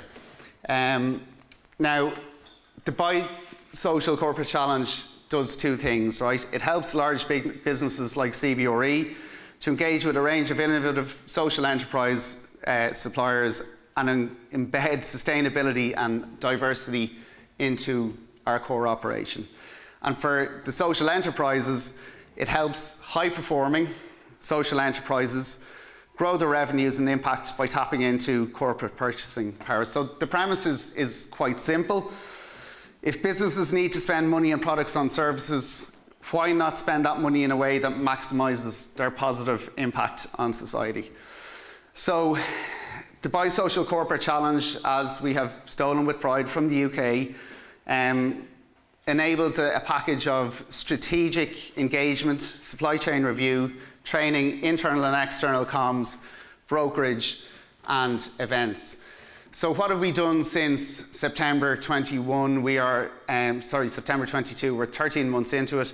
Um, we've ran a number of, of, Zoom sessions. We came out of, out of the pandemic um, and we had a heavy reliance on, on Zoom, I guess. Um, so a lot of people in, in the room I would have met on, on, on these sessions and we, we've tried to, to build momentum. Um, John Logue then came on board um, a couple of months back and we've kind of recalibrated in, in terms of much more of a focus on in-person events because look we all have Zoom fatigue and we're trying to foster and instill a sense of community and action. Um, and we're probably going to focus more on a niche number of, of um, high performing social enterprises um, and channel those through. So, look, there's a commitment there from us as a private sector um, buyer that the social enterprise community needs a bit of a giddy up um, and that we're there to you know, help and provide opportunity, mentoring and advice. And while not every social enterprise is going to be fit for purpose for CBRE, that's perfectly fine. We're happy to invest time and effort to, you know, send people in, in the right direction and, and give, give some advice. So that's, that's the intent of the uh, Buy Social Corporate Challenge, as I said, a, a, about a year on the go with SERI. Um, a lot of the stuff that has been said previously here today um, and some really good, thought provoking, insightful commentary. Um, I hope this, um, this diagram or this image sums it up quite well, hopefully. Um, it's something I came across on the internet. It's freely available on the internet. It is a PwC document called The Four Worlds of Work in 2030. It's a white paper or whatever you want to call it. But it is quite thought provoking in terms of um, what the world of work will look like in 2030. And the lens that I want to focus on today on this is there's two sides of the coin, and people have mentioned it earlier. It's the buyer's perspective but also it is the social enterprise perspective of what this world um, looks like and where we are today. So, look, if we start off in the, in, in the bottom right, the blue world, corporate is king. It's all about profitability and nothing else. I guess, look, that's pure Reaganomics. It is, you know, the Wolf of Wall Street, Anglo Irish Bank, whatever you want to call it. But that world purely focused on profit. Um, I would argue if people are stood there, they're standing still, right? Um, if you go up top right, you've got the tech world, uh, innovation rules, digital platforms give outsized reach and influence to those with the winning idea. We talked about ChatGPT, all of the disruptors, AI, robotics, what's coming, what will jobs look like in 2030. Will an accountant still be an accountant or will it be done by software that is 100% accurate 100% of the time? Will you need a procurement function or can you press a button somewhere and you get your uh, buy, no buy decision? All of these questions. So there will be jobs at risk, I suppose, in terms of um, the red world and the digital innovation that, that, that will come on it. Um, bottom left, the green world. Look, um, climate, sustainability, decarbonisation, the planet, um, the bioeconomy, the circular economy, all of that good stuff comes in how green is, is the world going to be in, in 2030? Top left, you know, where I would see the social enterprise sector sitting, where, you know, humanness is, is, is highly valued. Um, that is something, you know, there's, there's things coming into our business, you know, we're, we're introducing stuff like menopause leave, andropause leave, domestic violence, uh, abuse leave, all of these things where you know, the pandemic brought stuff in like, yeah, look, you can work from home, you can work remotely, you can get all these benefits. And it came back to being a bit more about the person. So again, what is that world going to look like in 2030? So I would challenge everybody in the room to have a think about where your social enterprise sits in terms of if you imagine that as a game of twister, have you got one leg in the blue? Have you got two hands in the yellow? Have you got an elbow somewhere where it shouldn't be, right? Um, but to use that lens and, and, and see where you as a social enterprise fit in terms of where you're strong, where you're weak. I guess, you know, John um, from Partas this morning was talking about moving into a blue world, about commerciality, um, and having started off maybe in, in, in a yellow world, maybe that's a, a natural journey and a natural transition. Um, but not everybody is on the same page, and, and the journey is different. If you look at um, the bottom, it says integration. It's a small bit blurry. My apologies for that, but I, I, I did grab it off the internet. Um, corporate integration, big business rules. So, you know, the further to the bottom a procurement organization is, the more likely they are to be just focused on price and price alone. Um, you know, companies get bigger and more in influential. There's mergers and acquisitions. The big ones buy the small ones. What type of corporate are you trying to sell to? The more up the top you go, business fragmentation. Um, and again, that is really large businesses lose their dominance up there. It's about niche, unique services with a unique value proposition. And there's probably more of a reliance on the tech as you go up there as well. So many of those businesses couldn't exist without their digital platforms. So, you know, digital is, is, is getting really important.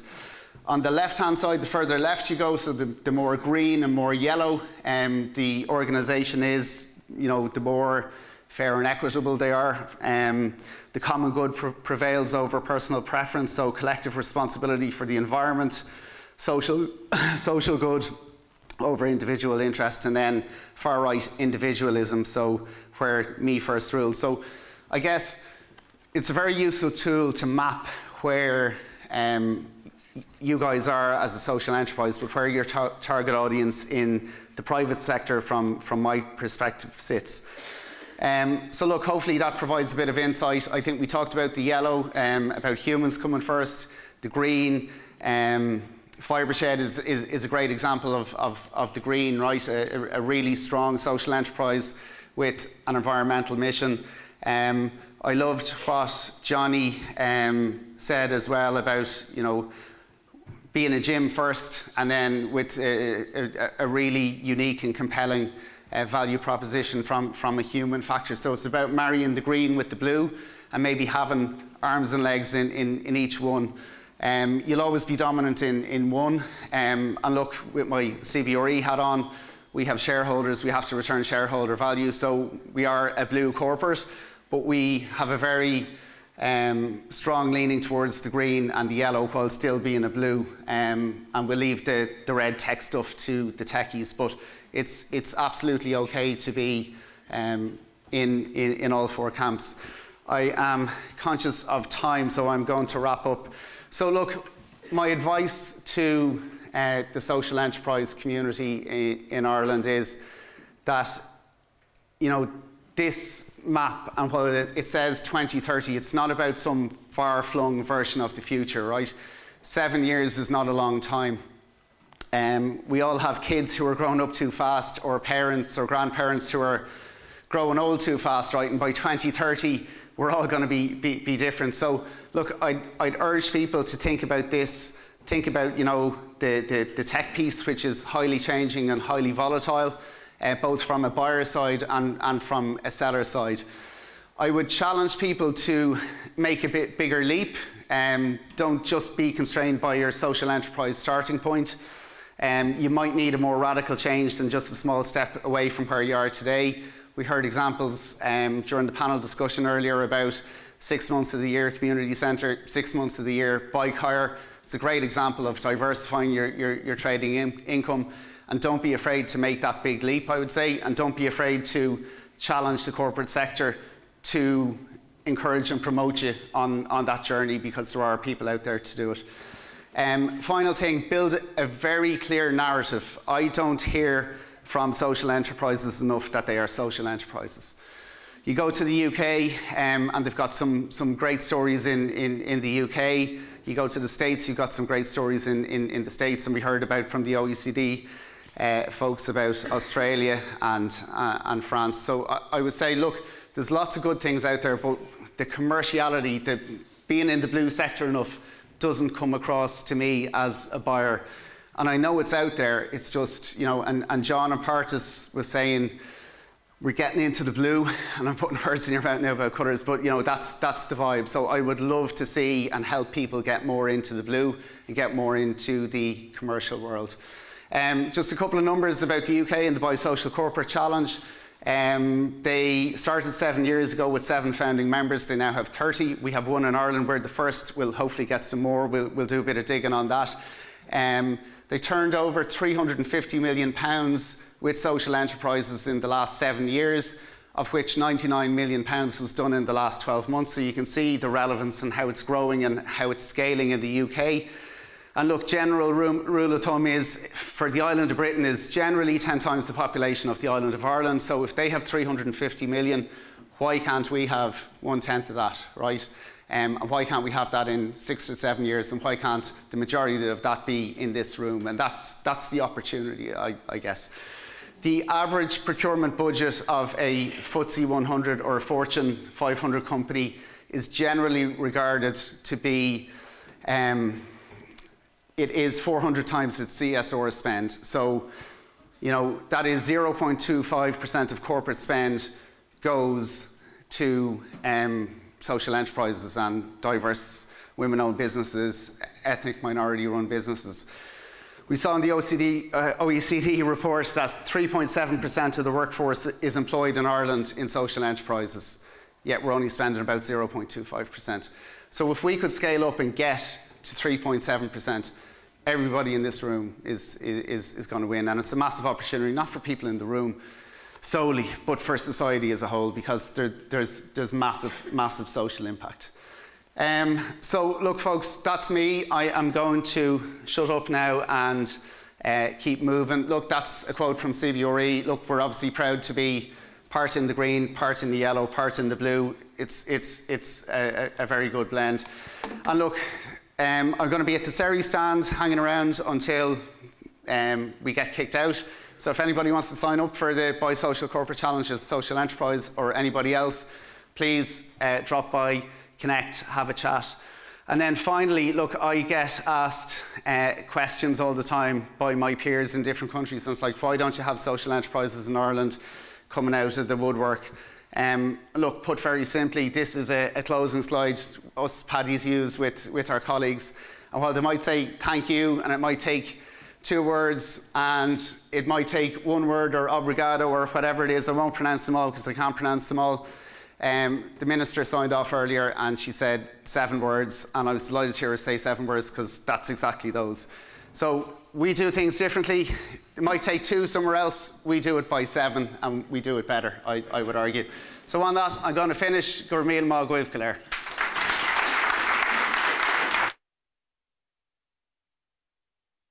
Nice one, Gav. Thanks very much, Gavin. And yeah, I completely agree. If we could get to figures like that, it'd be transformative, not just for, for people in this room, but I think for communities and society at large. Um, just a note as well before we go into breakout rooms that for those of you who are there are a few trains and buses around quarter to four, so we will get you there on time, so you can trust us on that. There's buses arranged outside to bring people to train stations and that. Um, but now it's time for yourselves to get involved in the conversation. We have three very interesting sessions for you to attend this afternoon. So for any of you who are interested in learning more about philanthropy for social enterprise, we'll ask you to move upstairs in a minute to the Dunlow Suite, where you'll meet founder of Onwards Phil Philanthropy. Can anybody else say that? philanthropy, right? yeah. Um, Darren Ryan. Uh, Ria Walsh from Board Match Ireland will be leading a discussion on building an effective board in the Ockram Suite, which is also upstairs. And for all of you who are interested in hearing from the wise and wonderful Kathy Coote of An Meitheal Rothair on climate action and social enterprise, we're going to stay right here, but maybe Kathy, you might scoot them all up to the front so that you can get more involved in the conversation. Now, I know what you're thinking. You can't split yourselves into three, and I know there's going to be great learning in each group, but don't worry, we've got a note taker in each room as well, and we'll feed back key learnings after the session. So see you back here at 10 past 3.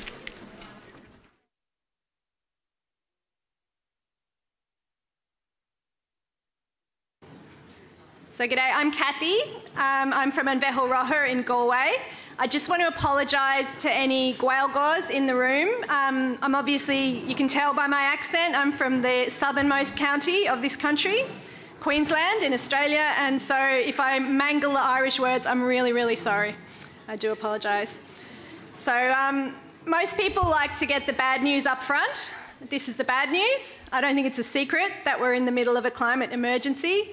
We know what that means.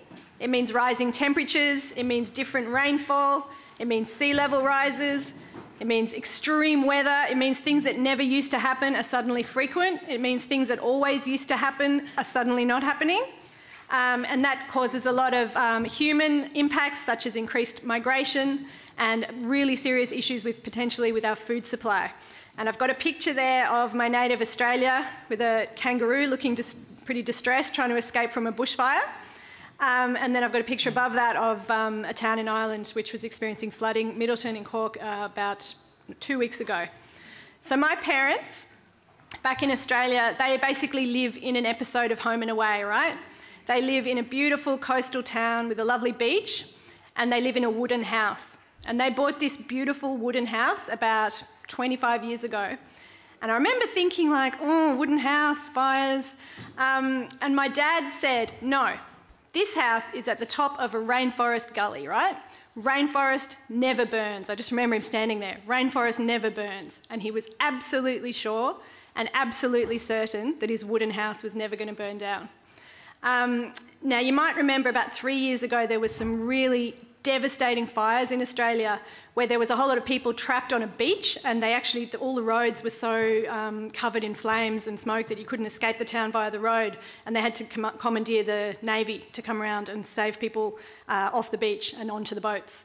So my parents' town is one town north of that town and the fires were absolutely everywhere then and I was thinking, they're in a wooden house in this, you know, at the top of this allegedly never going to burn rainforest gully. Um, now, their house actually didn't burn down, amazingly. So, houses, two houses on either side of their street did burn to the ground, uh, but theirs didn't. And the reason theirs didn't is because partly because their neighbour, Betty, who's 90 years old, decided she wasn't going to evacuate, she was going to stay and fight the fires.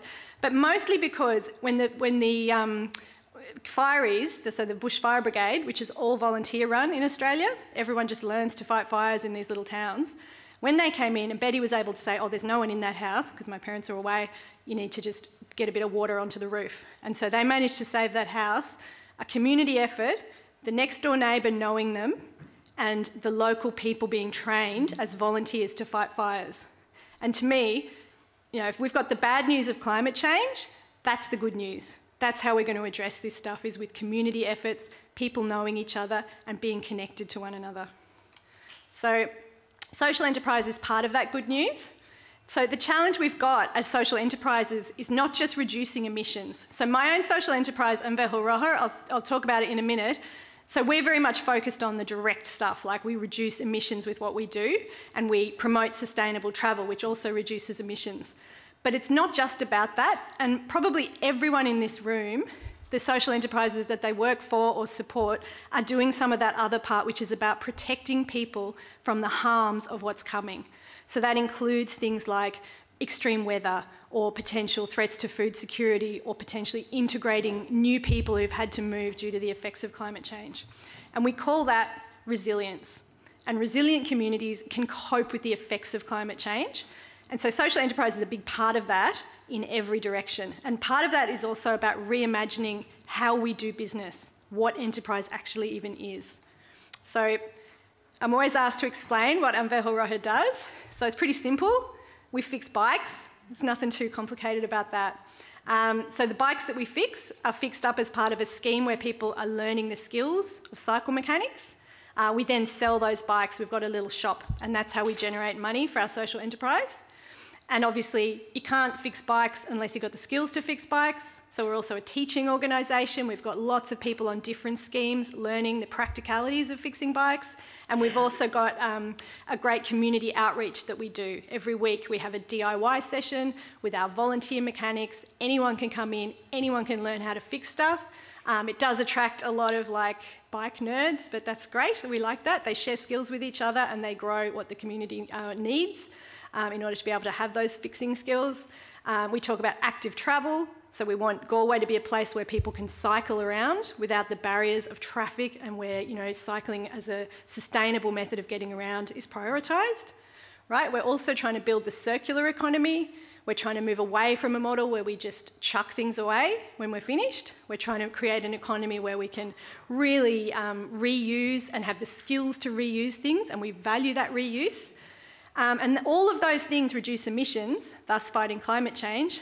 And as I say, we're looking at even what is an enterprise. Like we've chosen to be a cooperative, which, I mean, apparently when, when we went in and said we want to be a not for profit cooperative, the, the cooperative people here were like, there's actually no such thing in, in this country as a not for profit cooperative. And we said, no, we're just going to do it.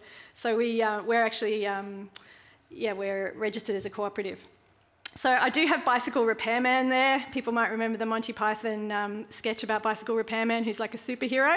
Um, I would point out that we do, or we did actually have Galway's only female bike mechanic as well, but uh, she went and got a job in a factory. We couldn't pay her as much. Um, so our model is pretty simple. We've got our shop Rojo, which is where we sell our bikes. So we sell um, the second-hand bikes that we have fixed up under our schemes. We also sell new bikes, just like any bike shop, under the Bike to Work scheme. Um, we have paid repairs and services with professional mechanics in there who you can send, leave your bike in and, and, get it fixed. We sell the normal accessories that you'd expect, lights and locks and so on. Um, and the money that we generate from that shop Rojo pays for the core stuff, the boring stuff. So, you know, the finance, the insurance, the admin, all of the much reporting that we have to do to our various other funders uh, and pays for our community activities. So our, our workshop is free to attend every Wednesday night at the DIY. Anyone can come along to that, and we need to pay for things like, you know, bike cables and parts and so on for those workshops. So the DIY, it's great fun. We're there every Wednesday night. If anyone's ever in Galway between 6 and 9 p.m. on a Wednesday night, come on down. It's great fun. We have volunteer mechanics who teach our community members how to fix their bikes. They share skills. Some people come along without, they don't have a bike, they just want to learn people come along who speak no English and just like the fact that we're doing something really hands-on, it's easy to communicate about. Um, we do ask for a, don a small donation, uh, but we don't push it because we don't want anyone to be excluded by money um, from having a safe, functional bike. And a lot of people have spoken to us. I mean, sometimes people come in and give us a donation and say, you know what, 10 years ago, I was a single mum with no money, and you guys helped me get a bike functional so that I could keep getting to work or keep getting my kid to school. Um, and so then we also have a recycling centre, which is funded um, through CSP. So we've got a whole um, unit, not, at, not where our shop is, but in another part of Galway, and Westside. Uh, and we take bikes that are either sent for scrap at the local council tip, the council recycling centre, or they're donated by members of the public. Um, and so being a mechanic, obviously a very hands-on thing. You need to see all the problems. It, really being a bike mechanic should be an apprenticeship, but it's not. Um, so we, we have guys there on schemes who are learning those skills as they go. We've got a proper uh, mechanic who's a, like a professional mechanic who trains them up and he checks the bikes that they've fixed to make sure that they're safe before they're sold.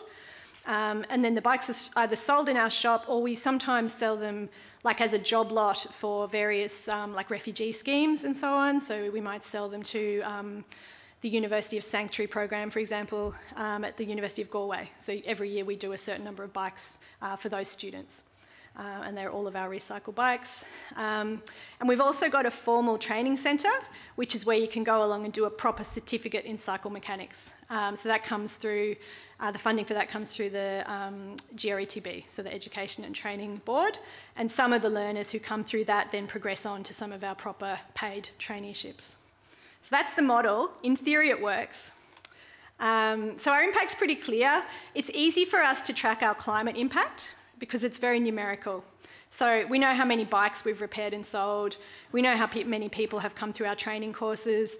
you know, we can turn that into how many kilos of metal we've saved, and we can also turn that pretty clearly into carbon emissions because of the life cycle assessment science that we've had done, where we work out the difference between buying a new bike and reusing one of our reused bikes.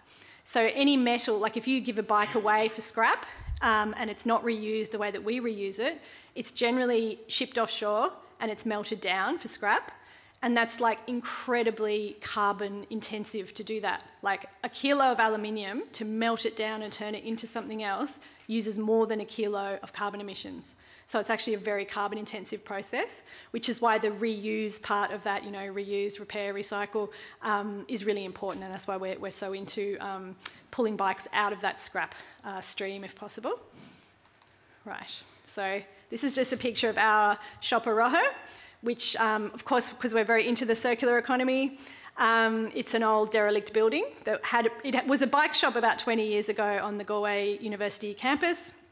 We refitted it after it was kind of derelict for some years, and everything inside it was reused. We reused the old floor, we patched it up with um, new timbers, we used old scaffolding um, timber to create all our shelving, we used pallets to create all of the um, like mechanic benches and counters and so on in the shop and we absolutely love our circular economy shop. And I just urge anyone that's in Galway to drop in, have a visit. Um, so I'm very big on green jobs. Um, when I was younger, my first job, I was a giant koala, which is not a very respectable job. Um, but I was very into the environment, and I used to work for an organisation called the Wilderness Society that was about protecting like old growth forests that we're trashing at such a great rate in Australia. And I used to dress up as a giant koala because that was their fundraising, their fundraising technique was to send people like me out in a suit. And it was a pretty stinky suit because it was worn by like hippies in rotation. And you'd get into this thing in 40 degree heat and be like, why have I signed up to do this? And ask for, you know, coins, rattling a bucket. Um, and then as I progressed through that organisation, I started to be part of the, the kind of movement to try and stop the old growth forest logging in Australia. And I had this whole road to Damascus moment because I was down in Tasmania, which I don't know if people know this, but it's got some of the most beautiful and ancient forests in the world. And it's also got a government that reckons like that the best thing to do with them is chop them down, not even process them in Australia, but just ship it all off to other countries to be turned into maybe furniture, toilet paper, stuff like that, um, and bring it back into Australia and buy it for knockdown prices. So we don't think that's a great idea. But I was in a kind of town hall community meeting full of these big blokey Aussie guys, you know, like they were the they had been loggers employed by the state, like maybe a bit like Bord na Móna or one of those kind of organisations, and it had privatised in the 80s, right? So all these guys who had had these salaried government jobs as loggers suddenly had had to take on like debt, like they had they had become private contractors who would borrow, you know, a million bucks to buy plant equipment, bulldozers and so on, and then they would work on contract for the state logging operation. And I was in this meeting, and like, you know, little hippie Kathy, fresh out of her giant koala suit, and all these like long haired hippie types saying, Oh, you should stop logging, guys. It'll be great. Like, there'll be tourism. And like, these, these guys in their work gear, like, I'll never forget, this guy stood up. He looked like the guy out of Wolf Creek or something. Like, he's a big, scary looking Aussie guy in his work outfit. You know, and he was crying, he was weeping. Like, he was about late 50s maybe. Like, he wasn't going to be retraining in any new field. And he was saying, Why do you want me to go broke? Why do you want my kids to have to move away from Tasmania to look for work, move to Melbourne or Sydney? Why do you want that? And I had this whole moment where I'm like, this, we're not going to do the green transition in this way by just saying we're shutting it down, guys, just go home, do something else. Um, and so I really wanted to be part of something. When I came to Ireland, that was about green jobs, and that we, when we could, when people said what green jobs, we could say these green jobs and it would be clear what it was what it was about. It would be skilled work that people really wanted to do and it would be useful and it would be meaningful work. And so the, the jobs that we've provided we've created nine jobs in galway. They're not all state funded jobs like some of them are funded through our shop and we're incredibly proud of that. We think that's great.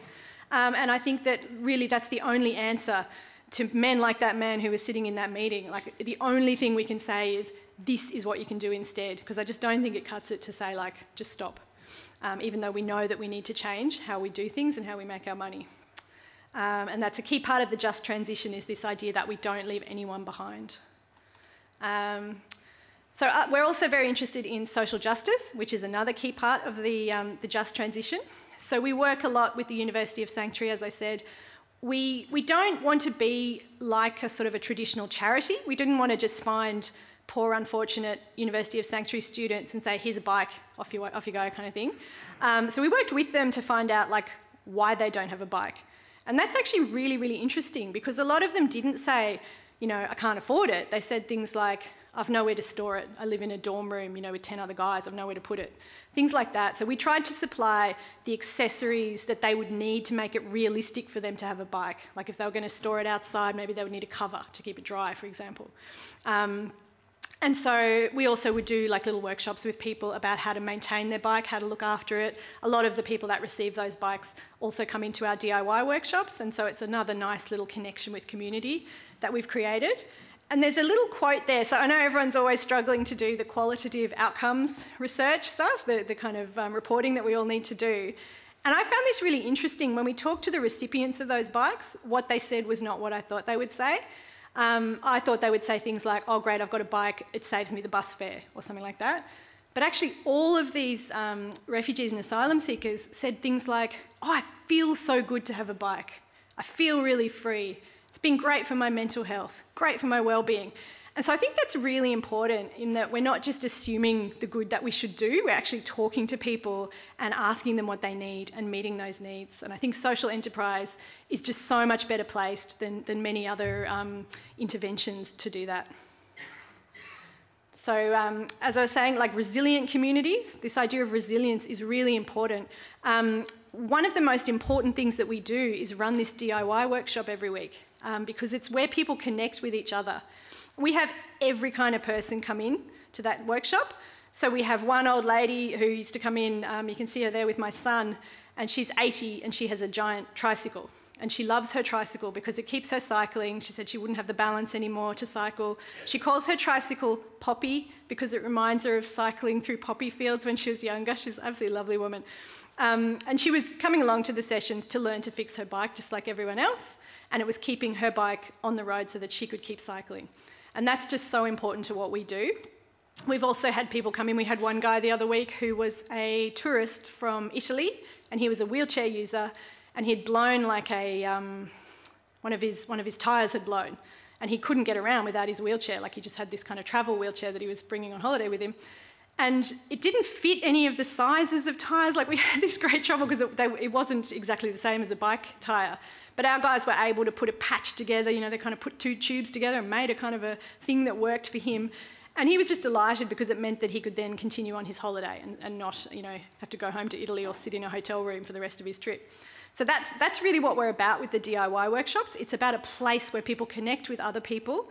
And often the problems they solve are nothing to do with bikes. You know, people just meet each other and they, they connect on other issues. Oh, I need help moving house or whatever. So we, we just think that being that little hub in the community is just so, so, so important. Um, but it's also about obviously repair because we know that teaching repair skills is a crucial part of the, the transition that we need to make because we need to repair things and keep them going for longer rather than just chucking them away. Um, so we also have, as I said, we have trainee schemes with on-the-job training, so it's proper repair um, that you would use in, in a bike shop. Several of our people have gone on to work just in the other bike shops in the city and county around where we are. We do school visits. Um, you can see a picture there of one of our school visits. So we send mechanics along um, every week during every year, sorry, during Bike Week. The guys will um, you know, they just come along, they, kids bring their bikes in, and the guys kind of fix it, and the kids watch, you know, so the kids are kind of learning as they go, you know, and they ask the kids who wants to pump the tyres and this kind of thing. And the idea is that a bike is made safe uh, during the course of the day, and if any of the work is too big to be done, like on site, the bike gets a little sick note, um, which you can then take over to a proper mechanic if you want to get the work done um, that it needs. We also have a little um, bike repair stand. Uh, you can see it there, the tall, skinny thing. And it's, um, it's outside our shop and our DIY workshop, and it means that if someone comes and is de in desperate need of just pumping the tyres or doing a little fix, you know, and the whole place is closed and it's three o'clock in the morning, it's totally accessible to do those quick repairs and quick fixes. So that's, um, that's been a really good addition to the local area. Um, so this idea of a just transition I want to talk about a bit more because I think that's really a, a crucial part of um, what social enterprise has to offer with the climate transition. So there's a quote there, it's, it's um, a just transition of the workforce and the creation of decent work and quality jobs in accordance with nationally defined development priorities. And that's, that's a big part of who we are at An Mheitheal Rothar. We don't just want to make any jobs. We don't see jobs as a great outcome by themselves. We think they have to be decent jobs. They have to pay a reasonable wage. They have to be skilled jobs. And they have to be jobs that are satisfying and that you like doing.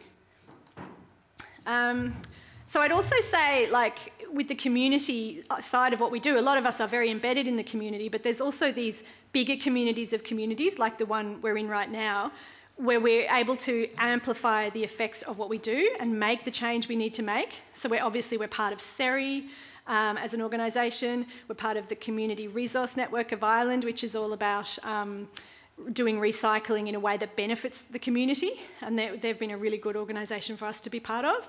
Um, Solid Network is a group of cooperatives that we're part of. Um, new style cooperatives, so like Dublin Food Co-op, for example, is another cooperative. Um, and so, yeah, I just would urge people to be as, as involved in these groups as you can be because I think it's absolutely invaluable to do that. So I want to kind of throw this open to the floor now a bit. Like I'd like people to talk to each other just for a minute or two and then we'll go around the room and have a talk about what you, your social enterprise or the social enterprises that you're supporting is doing in terms of direct emissions reduction, so directly impacting our climate, but also what your organisation is doing in terms of resilience, like in terms of making communities stronger to meet the challenges that, that we're already experiencing and that we know are going to become more frequent and more serious over time. So I might just give people about two minutes and then we'll throw it open to the, the roving mics, if that's okay. Okay, so we might come back now to the group. I've got the amazing Megan, and Megan is standing at the ready with her with a movable microphone. So would we like to hear back, I'd like to hear back from people about what your organisations are doing around these two elements of climate change. Can we have a, I'm going to pick on people if no one comes forward. okay, I reckon PJ over there, PJ really looks like he has something to contribute. Put your hand up, PJ. The roving mic is coming to you. Keep going. He's there. I missed the question there, so give it so a, the question I was is, talking so much. what is your organisation doing on emissions, direct emissions reduction and also on increasing resilience in your community? Yeah, so definitely the first part of that question about what are we doing. Um, so I'm with IRD Duhallow, um, a local development company in Cork. Um, when we think of climate, there's kind of two things we do that probably is unrelated to most people here, but we'd also have like EIP pro programs and Blue Dot um, um, programs. So a big part of that would be results-based payments for farmers to do things on their farm that would obviously help the local rivers and uh, help the local ecosystem. Um, for the circular economy, we have Revamp, IRD Duhallow Furniture Revamp, and which is furniture revamp, which is in the name, but we also got into paint recycling as well. So that's part of the Relove Paint, I suppose, group that's uh, in Rediscovery Centres involved, and two more social enterprises in Cork. Um, so that would probably the most clear benefits that we have. So the furniture restoration and the paint. So you're um, basically saving a lot of stuff from going to landfill, and especially the paint would go to Germany to get incinerated. So we track all that to um, to to show what our, I suppose our impact is on the, um, uh, the environment. But as part a way of um, uh, resilience within communities, it's probably something we haven't thought about. I know it's a good example with say Midleton and preparing people for the floods. But for us, I suppose, would be just um, trying to incorporate changes in purchasing a trend, we'll say, like rather than going to whatever other local place to buy paint. Maybe just thinking about Relove Paint and how they can have a clear benefit there, and uh, I suppose keeping local jobs in that form resilience. But um, it's definitely something we could look into more about training for probably natural disasters and mm. floods and certain things like that. But something we'd have to think about. That's fantastic. No, that's really good. I know um, IRD Duhallow's doing a lot of a lot of great things. Um, so someone else from another part of the country. Haven't heard from anyone from Donegal for about five minutes, so it might be time might be time for them to say what they're doing. like.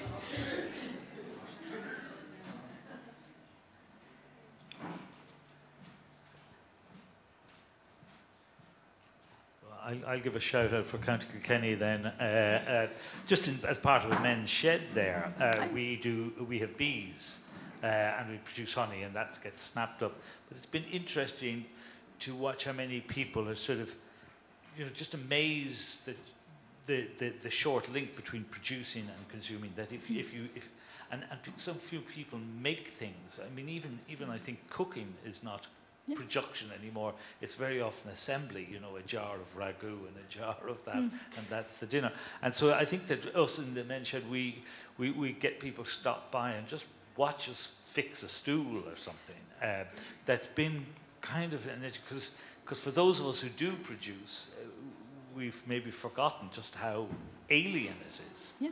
And I think that social enterprises have got an opportunity uh, to, to switch or to help bridge the producer consumer divide that yeah, it is. Absolutely. So many people don't actually produce anything. Yeah. Uh, and that's problematic from a resilience point of view. I mean, that's absolutely true. And we do find at the workshop as well, it's probably not unlike a men's shed, but with maybe a few more girls there. but if you start fixing something, people are mesmerized. Like they absolutely love it. We have kids that come along regularly. We have just all kinds of people because they're so fascinated at the idea of doing something themselves or even watching someone do that. Thank you. That was really good. All right. So we've got we've covered Kilkenny and Cork. I've covered Australia what else? Who else have we got? like, so someone here. Um, hi, I'm with uh, Bounce Back Recycling and Bounce Back Upcycling. Um, so I suppose we have like quite a big um, impact on recycling and the environment. But um, I was thinking when you were talking, sorry, when you were talking about the community um, impact, we don't really have that, and I think that's quite a good idea. So I was even thinking the way we have the upcycling project and we do the upcycling of the furniture, mm-hmm. we could probably maybe have like DIY workshops where we do teach people how to, um, sorry, yeah, how to um, do the upcycling uh, of their own furniture at home rather than them coming into the shop and paying for it. Um, so I think that would be a good idea. Just that's, that's great. Yeah, and I mean, is that the um, furniture, like the upholstery and that sort of stuff that you do? Um, yeah. So yeah. what we do, um, basically, whatever item can be salvaged, or whoever wants to donate furniture, we take it in. And we upcycle it, we clean it, and then we resell it. Um, so we keep the circular economy going. Um, but we also have um, the upholstery. So whoever has, let's say, um, if they have a piece of furniture that they love and they don't want to get rid of, we upholster it for them. And we're trying to venture out into new areas like clothing alterations as well, um, where we could help with the the amount of clothes people throw up as well, throw out. Sorry. um, as well. So um, that's fantastic, and like I do love it when a community that has skills like realizes that the rest of us have lost the skills. And so I'm sure there are. Um, I've seen some beautiful work done by traveller women that's like sewing and so on, and like poor hopeless people like me that wouldn't have a clue. Like I would totally come along to a session just to learn some of those skills. Um, and I'm sure the same would be true for the upholstery or the furniture work as well. Like, so that, yeah, it's a great idea. We should get together. You're in Galway. Oh, 100%. Thank you. Thanks very much. Um, so there's someone over here.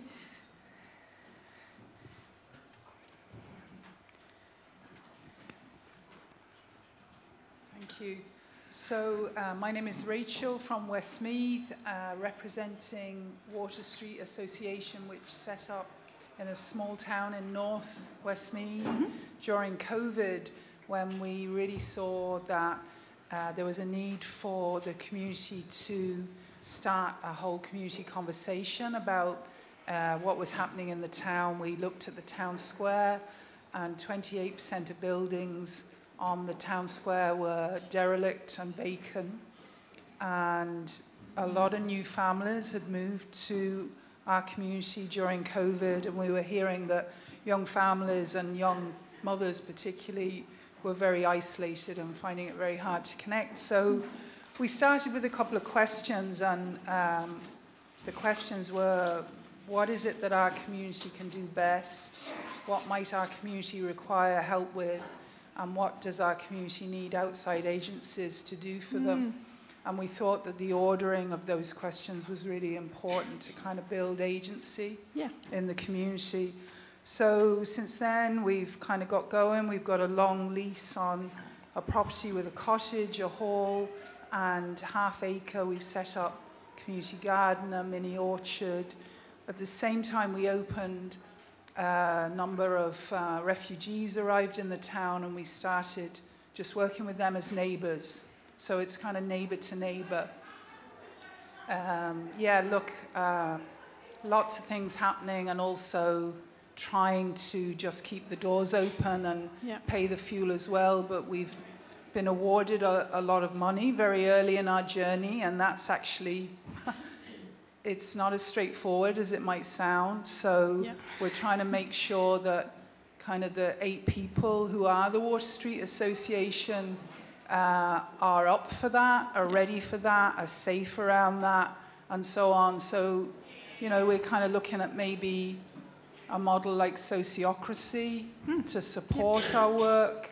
But we're really open to linking with anybody else who kind of resonates with any of the above. That's fantastic, and that integration work that you're doing. I know I had um, movement of people as a kind of a impact of climate change. It doesn't have to be a negative impact if we can do it right.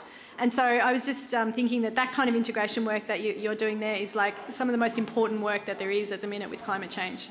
Even though it doesn't, you know, there's no direct way to measure emissions about it or anything like that, but that bringing people in and forming a community where there wasn't one before is crucial. Right, has anyone else got a climate change? How are we for time? Um, do we need to be winding up?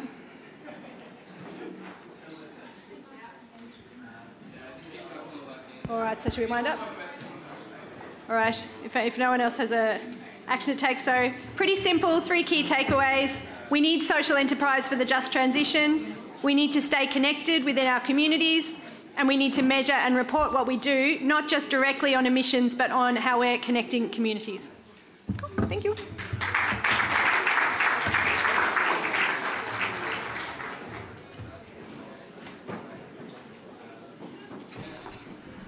Alrighty, so we hope you all had a lovely chat at those um, breakout rooms.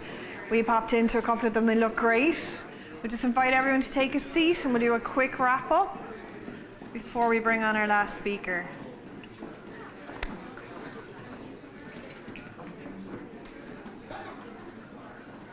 Do we have everyone back? We do, don't we?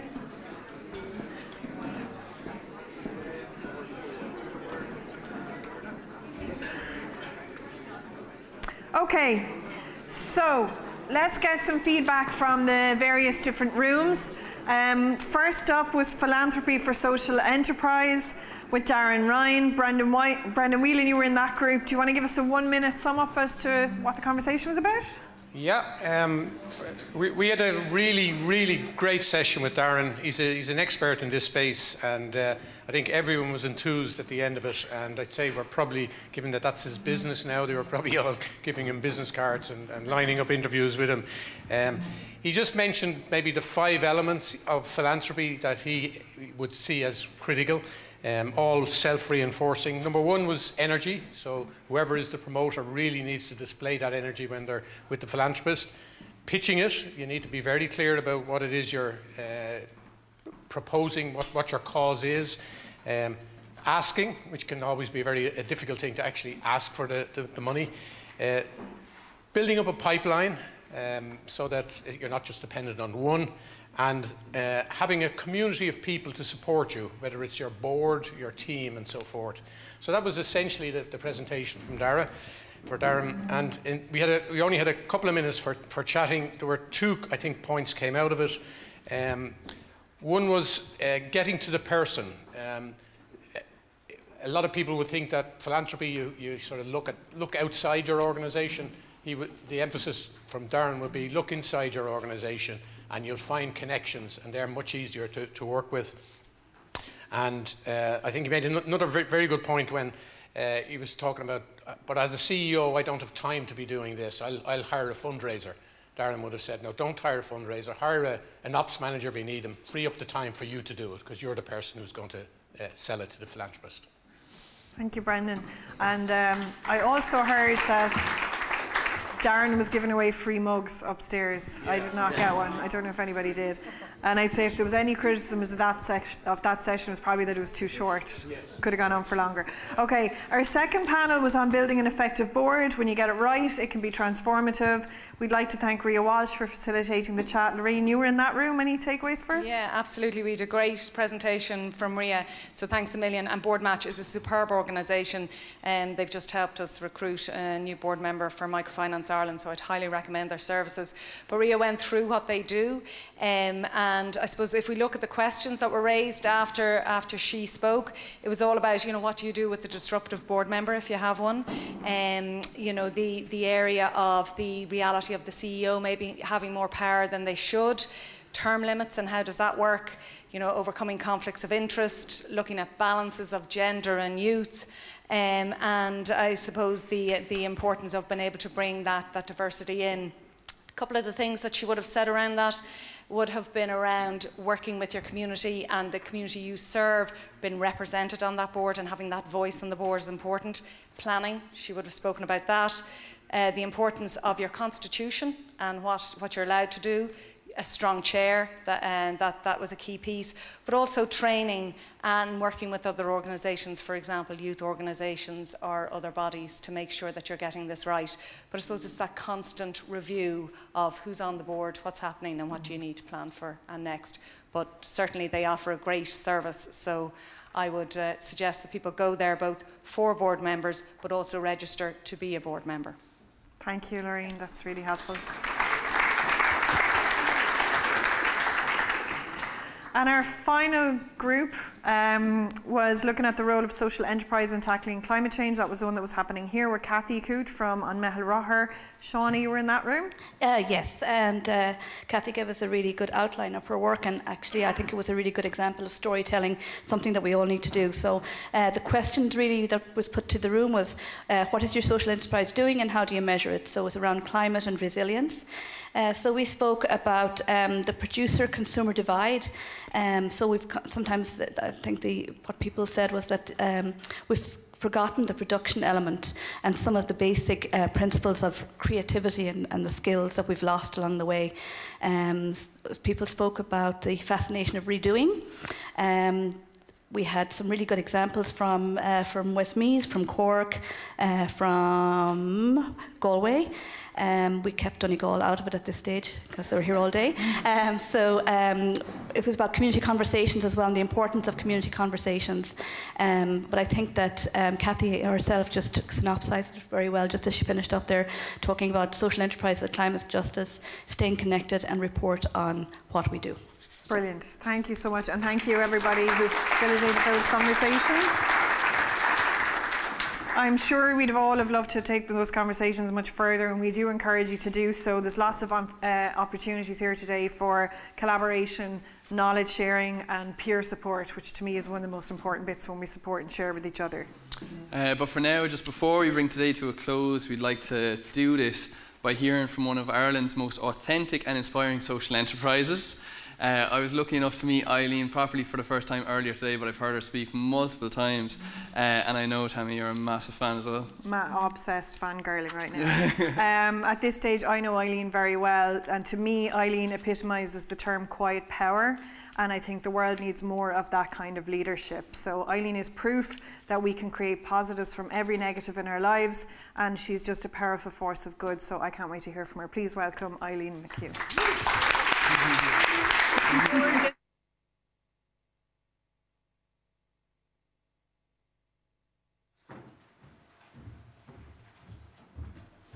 Hello, that's a lot to live up to. I'm um, sweating even more now. I'm not an experienced public speaker. I hate public speaking, but um, our story is special and it is authentic, so I, I never mind pushing the boundaries to um, do that. So, who am I and what's Hair Together? Um, my name is Eileen and I'm founder of Hair Together.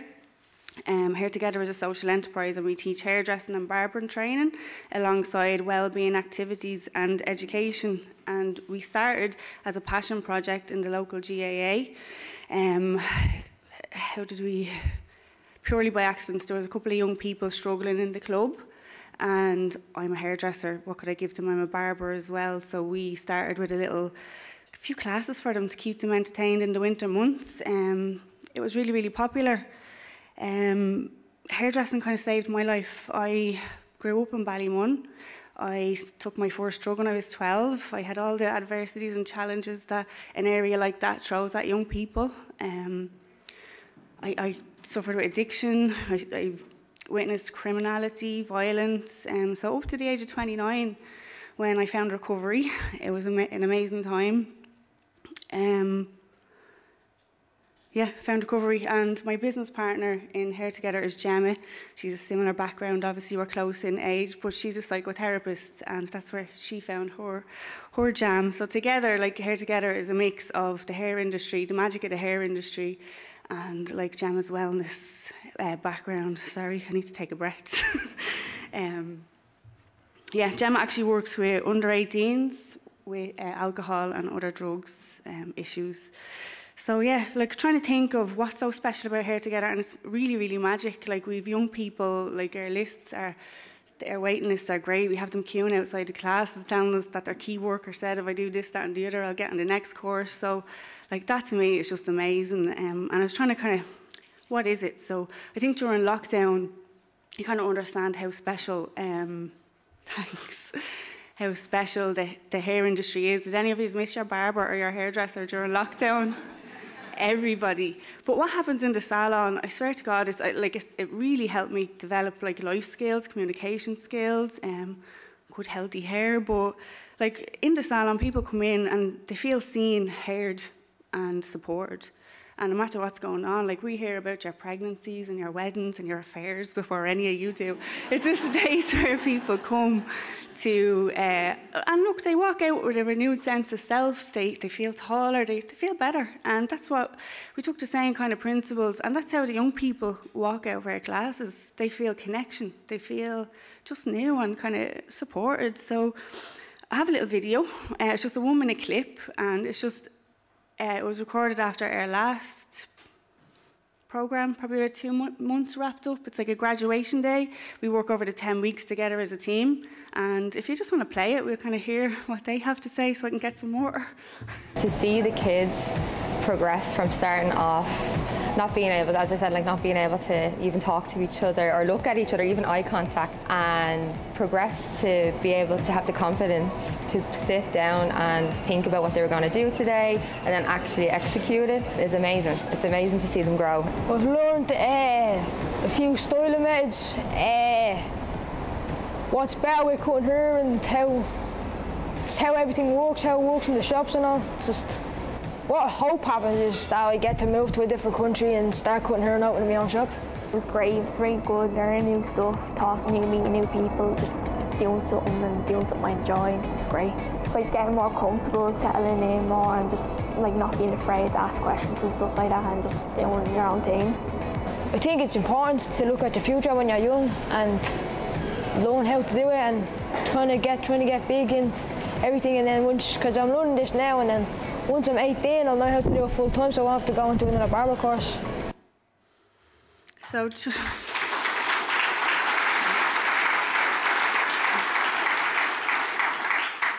So just to put into perspective, like the young people when they come into us, they all have they're from diverse backgrounds. They all have kind of challenges for for them to stand up in front of like a camera and tell their experience. Like you hear Dylan like he's actually come back with us. He does demos for the new kids. Like his skin fading is like unreal.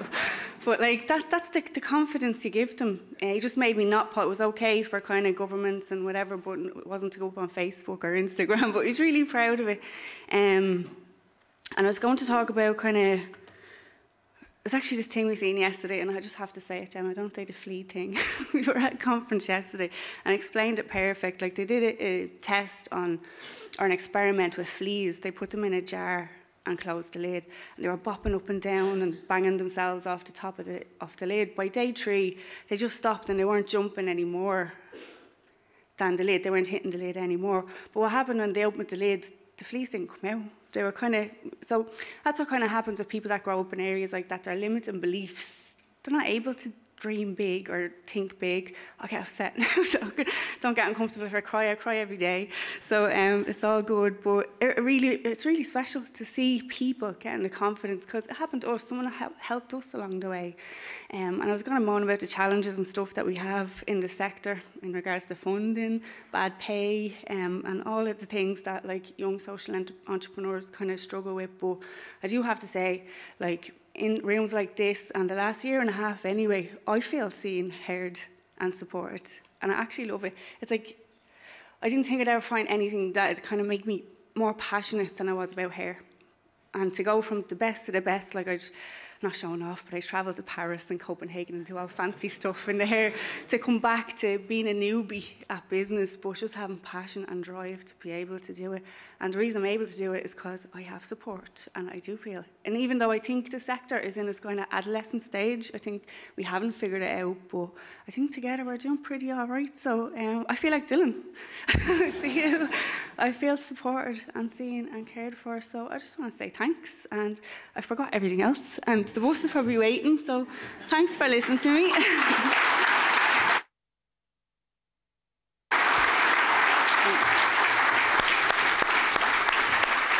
well done. Well done. well done, Eileen. Thanks very much.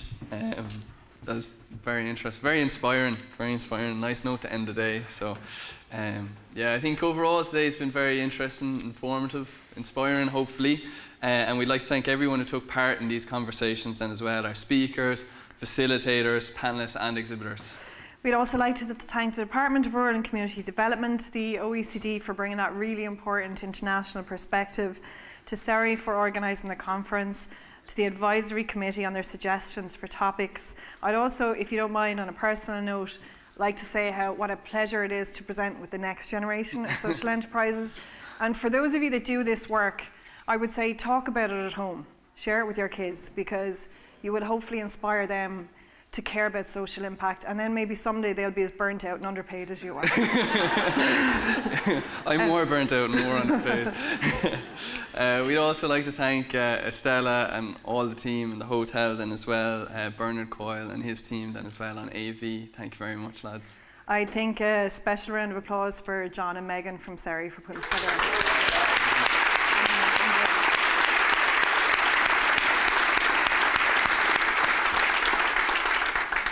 Uh, most of all, we'd like to thank all of you for travelling, some of you quite a way to be here with us today. We hope you all managed to glean some food for thought, and when you leave, you'll have a renewed sense of that purpose and that potential of the social enterprise sector in Ireland and the role that we will all play in shaping the future. Yeah, so from myself and Tammy, we'd love to thank the DRCD for inviting us. It's been a huge honour to play a small part in today's event. And for those of you catching the 347 train to Dublin, there are buses outside right now. So you'll want to get up quickly, and uh, we want to wish you all a safe and pleasant journey home. Have a lovely Safe day. home, everybody. Thank you.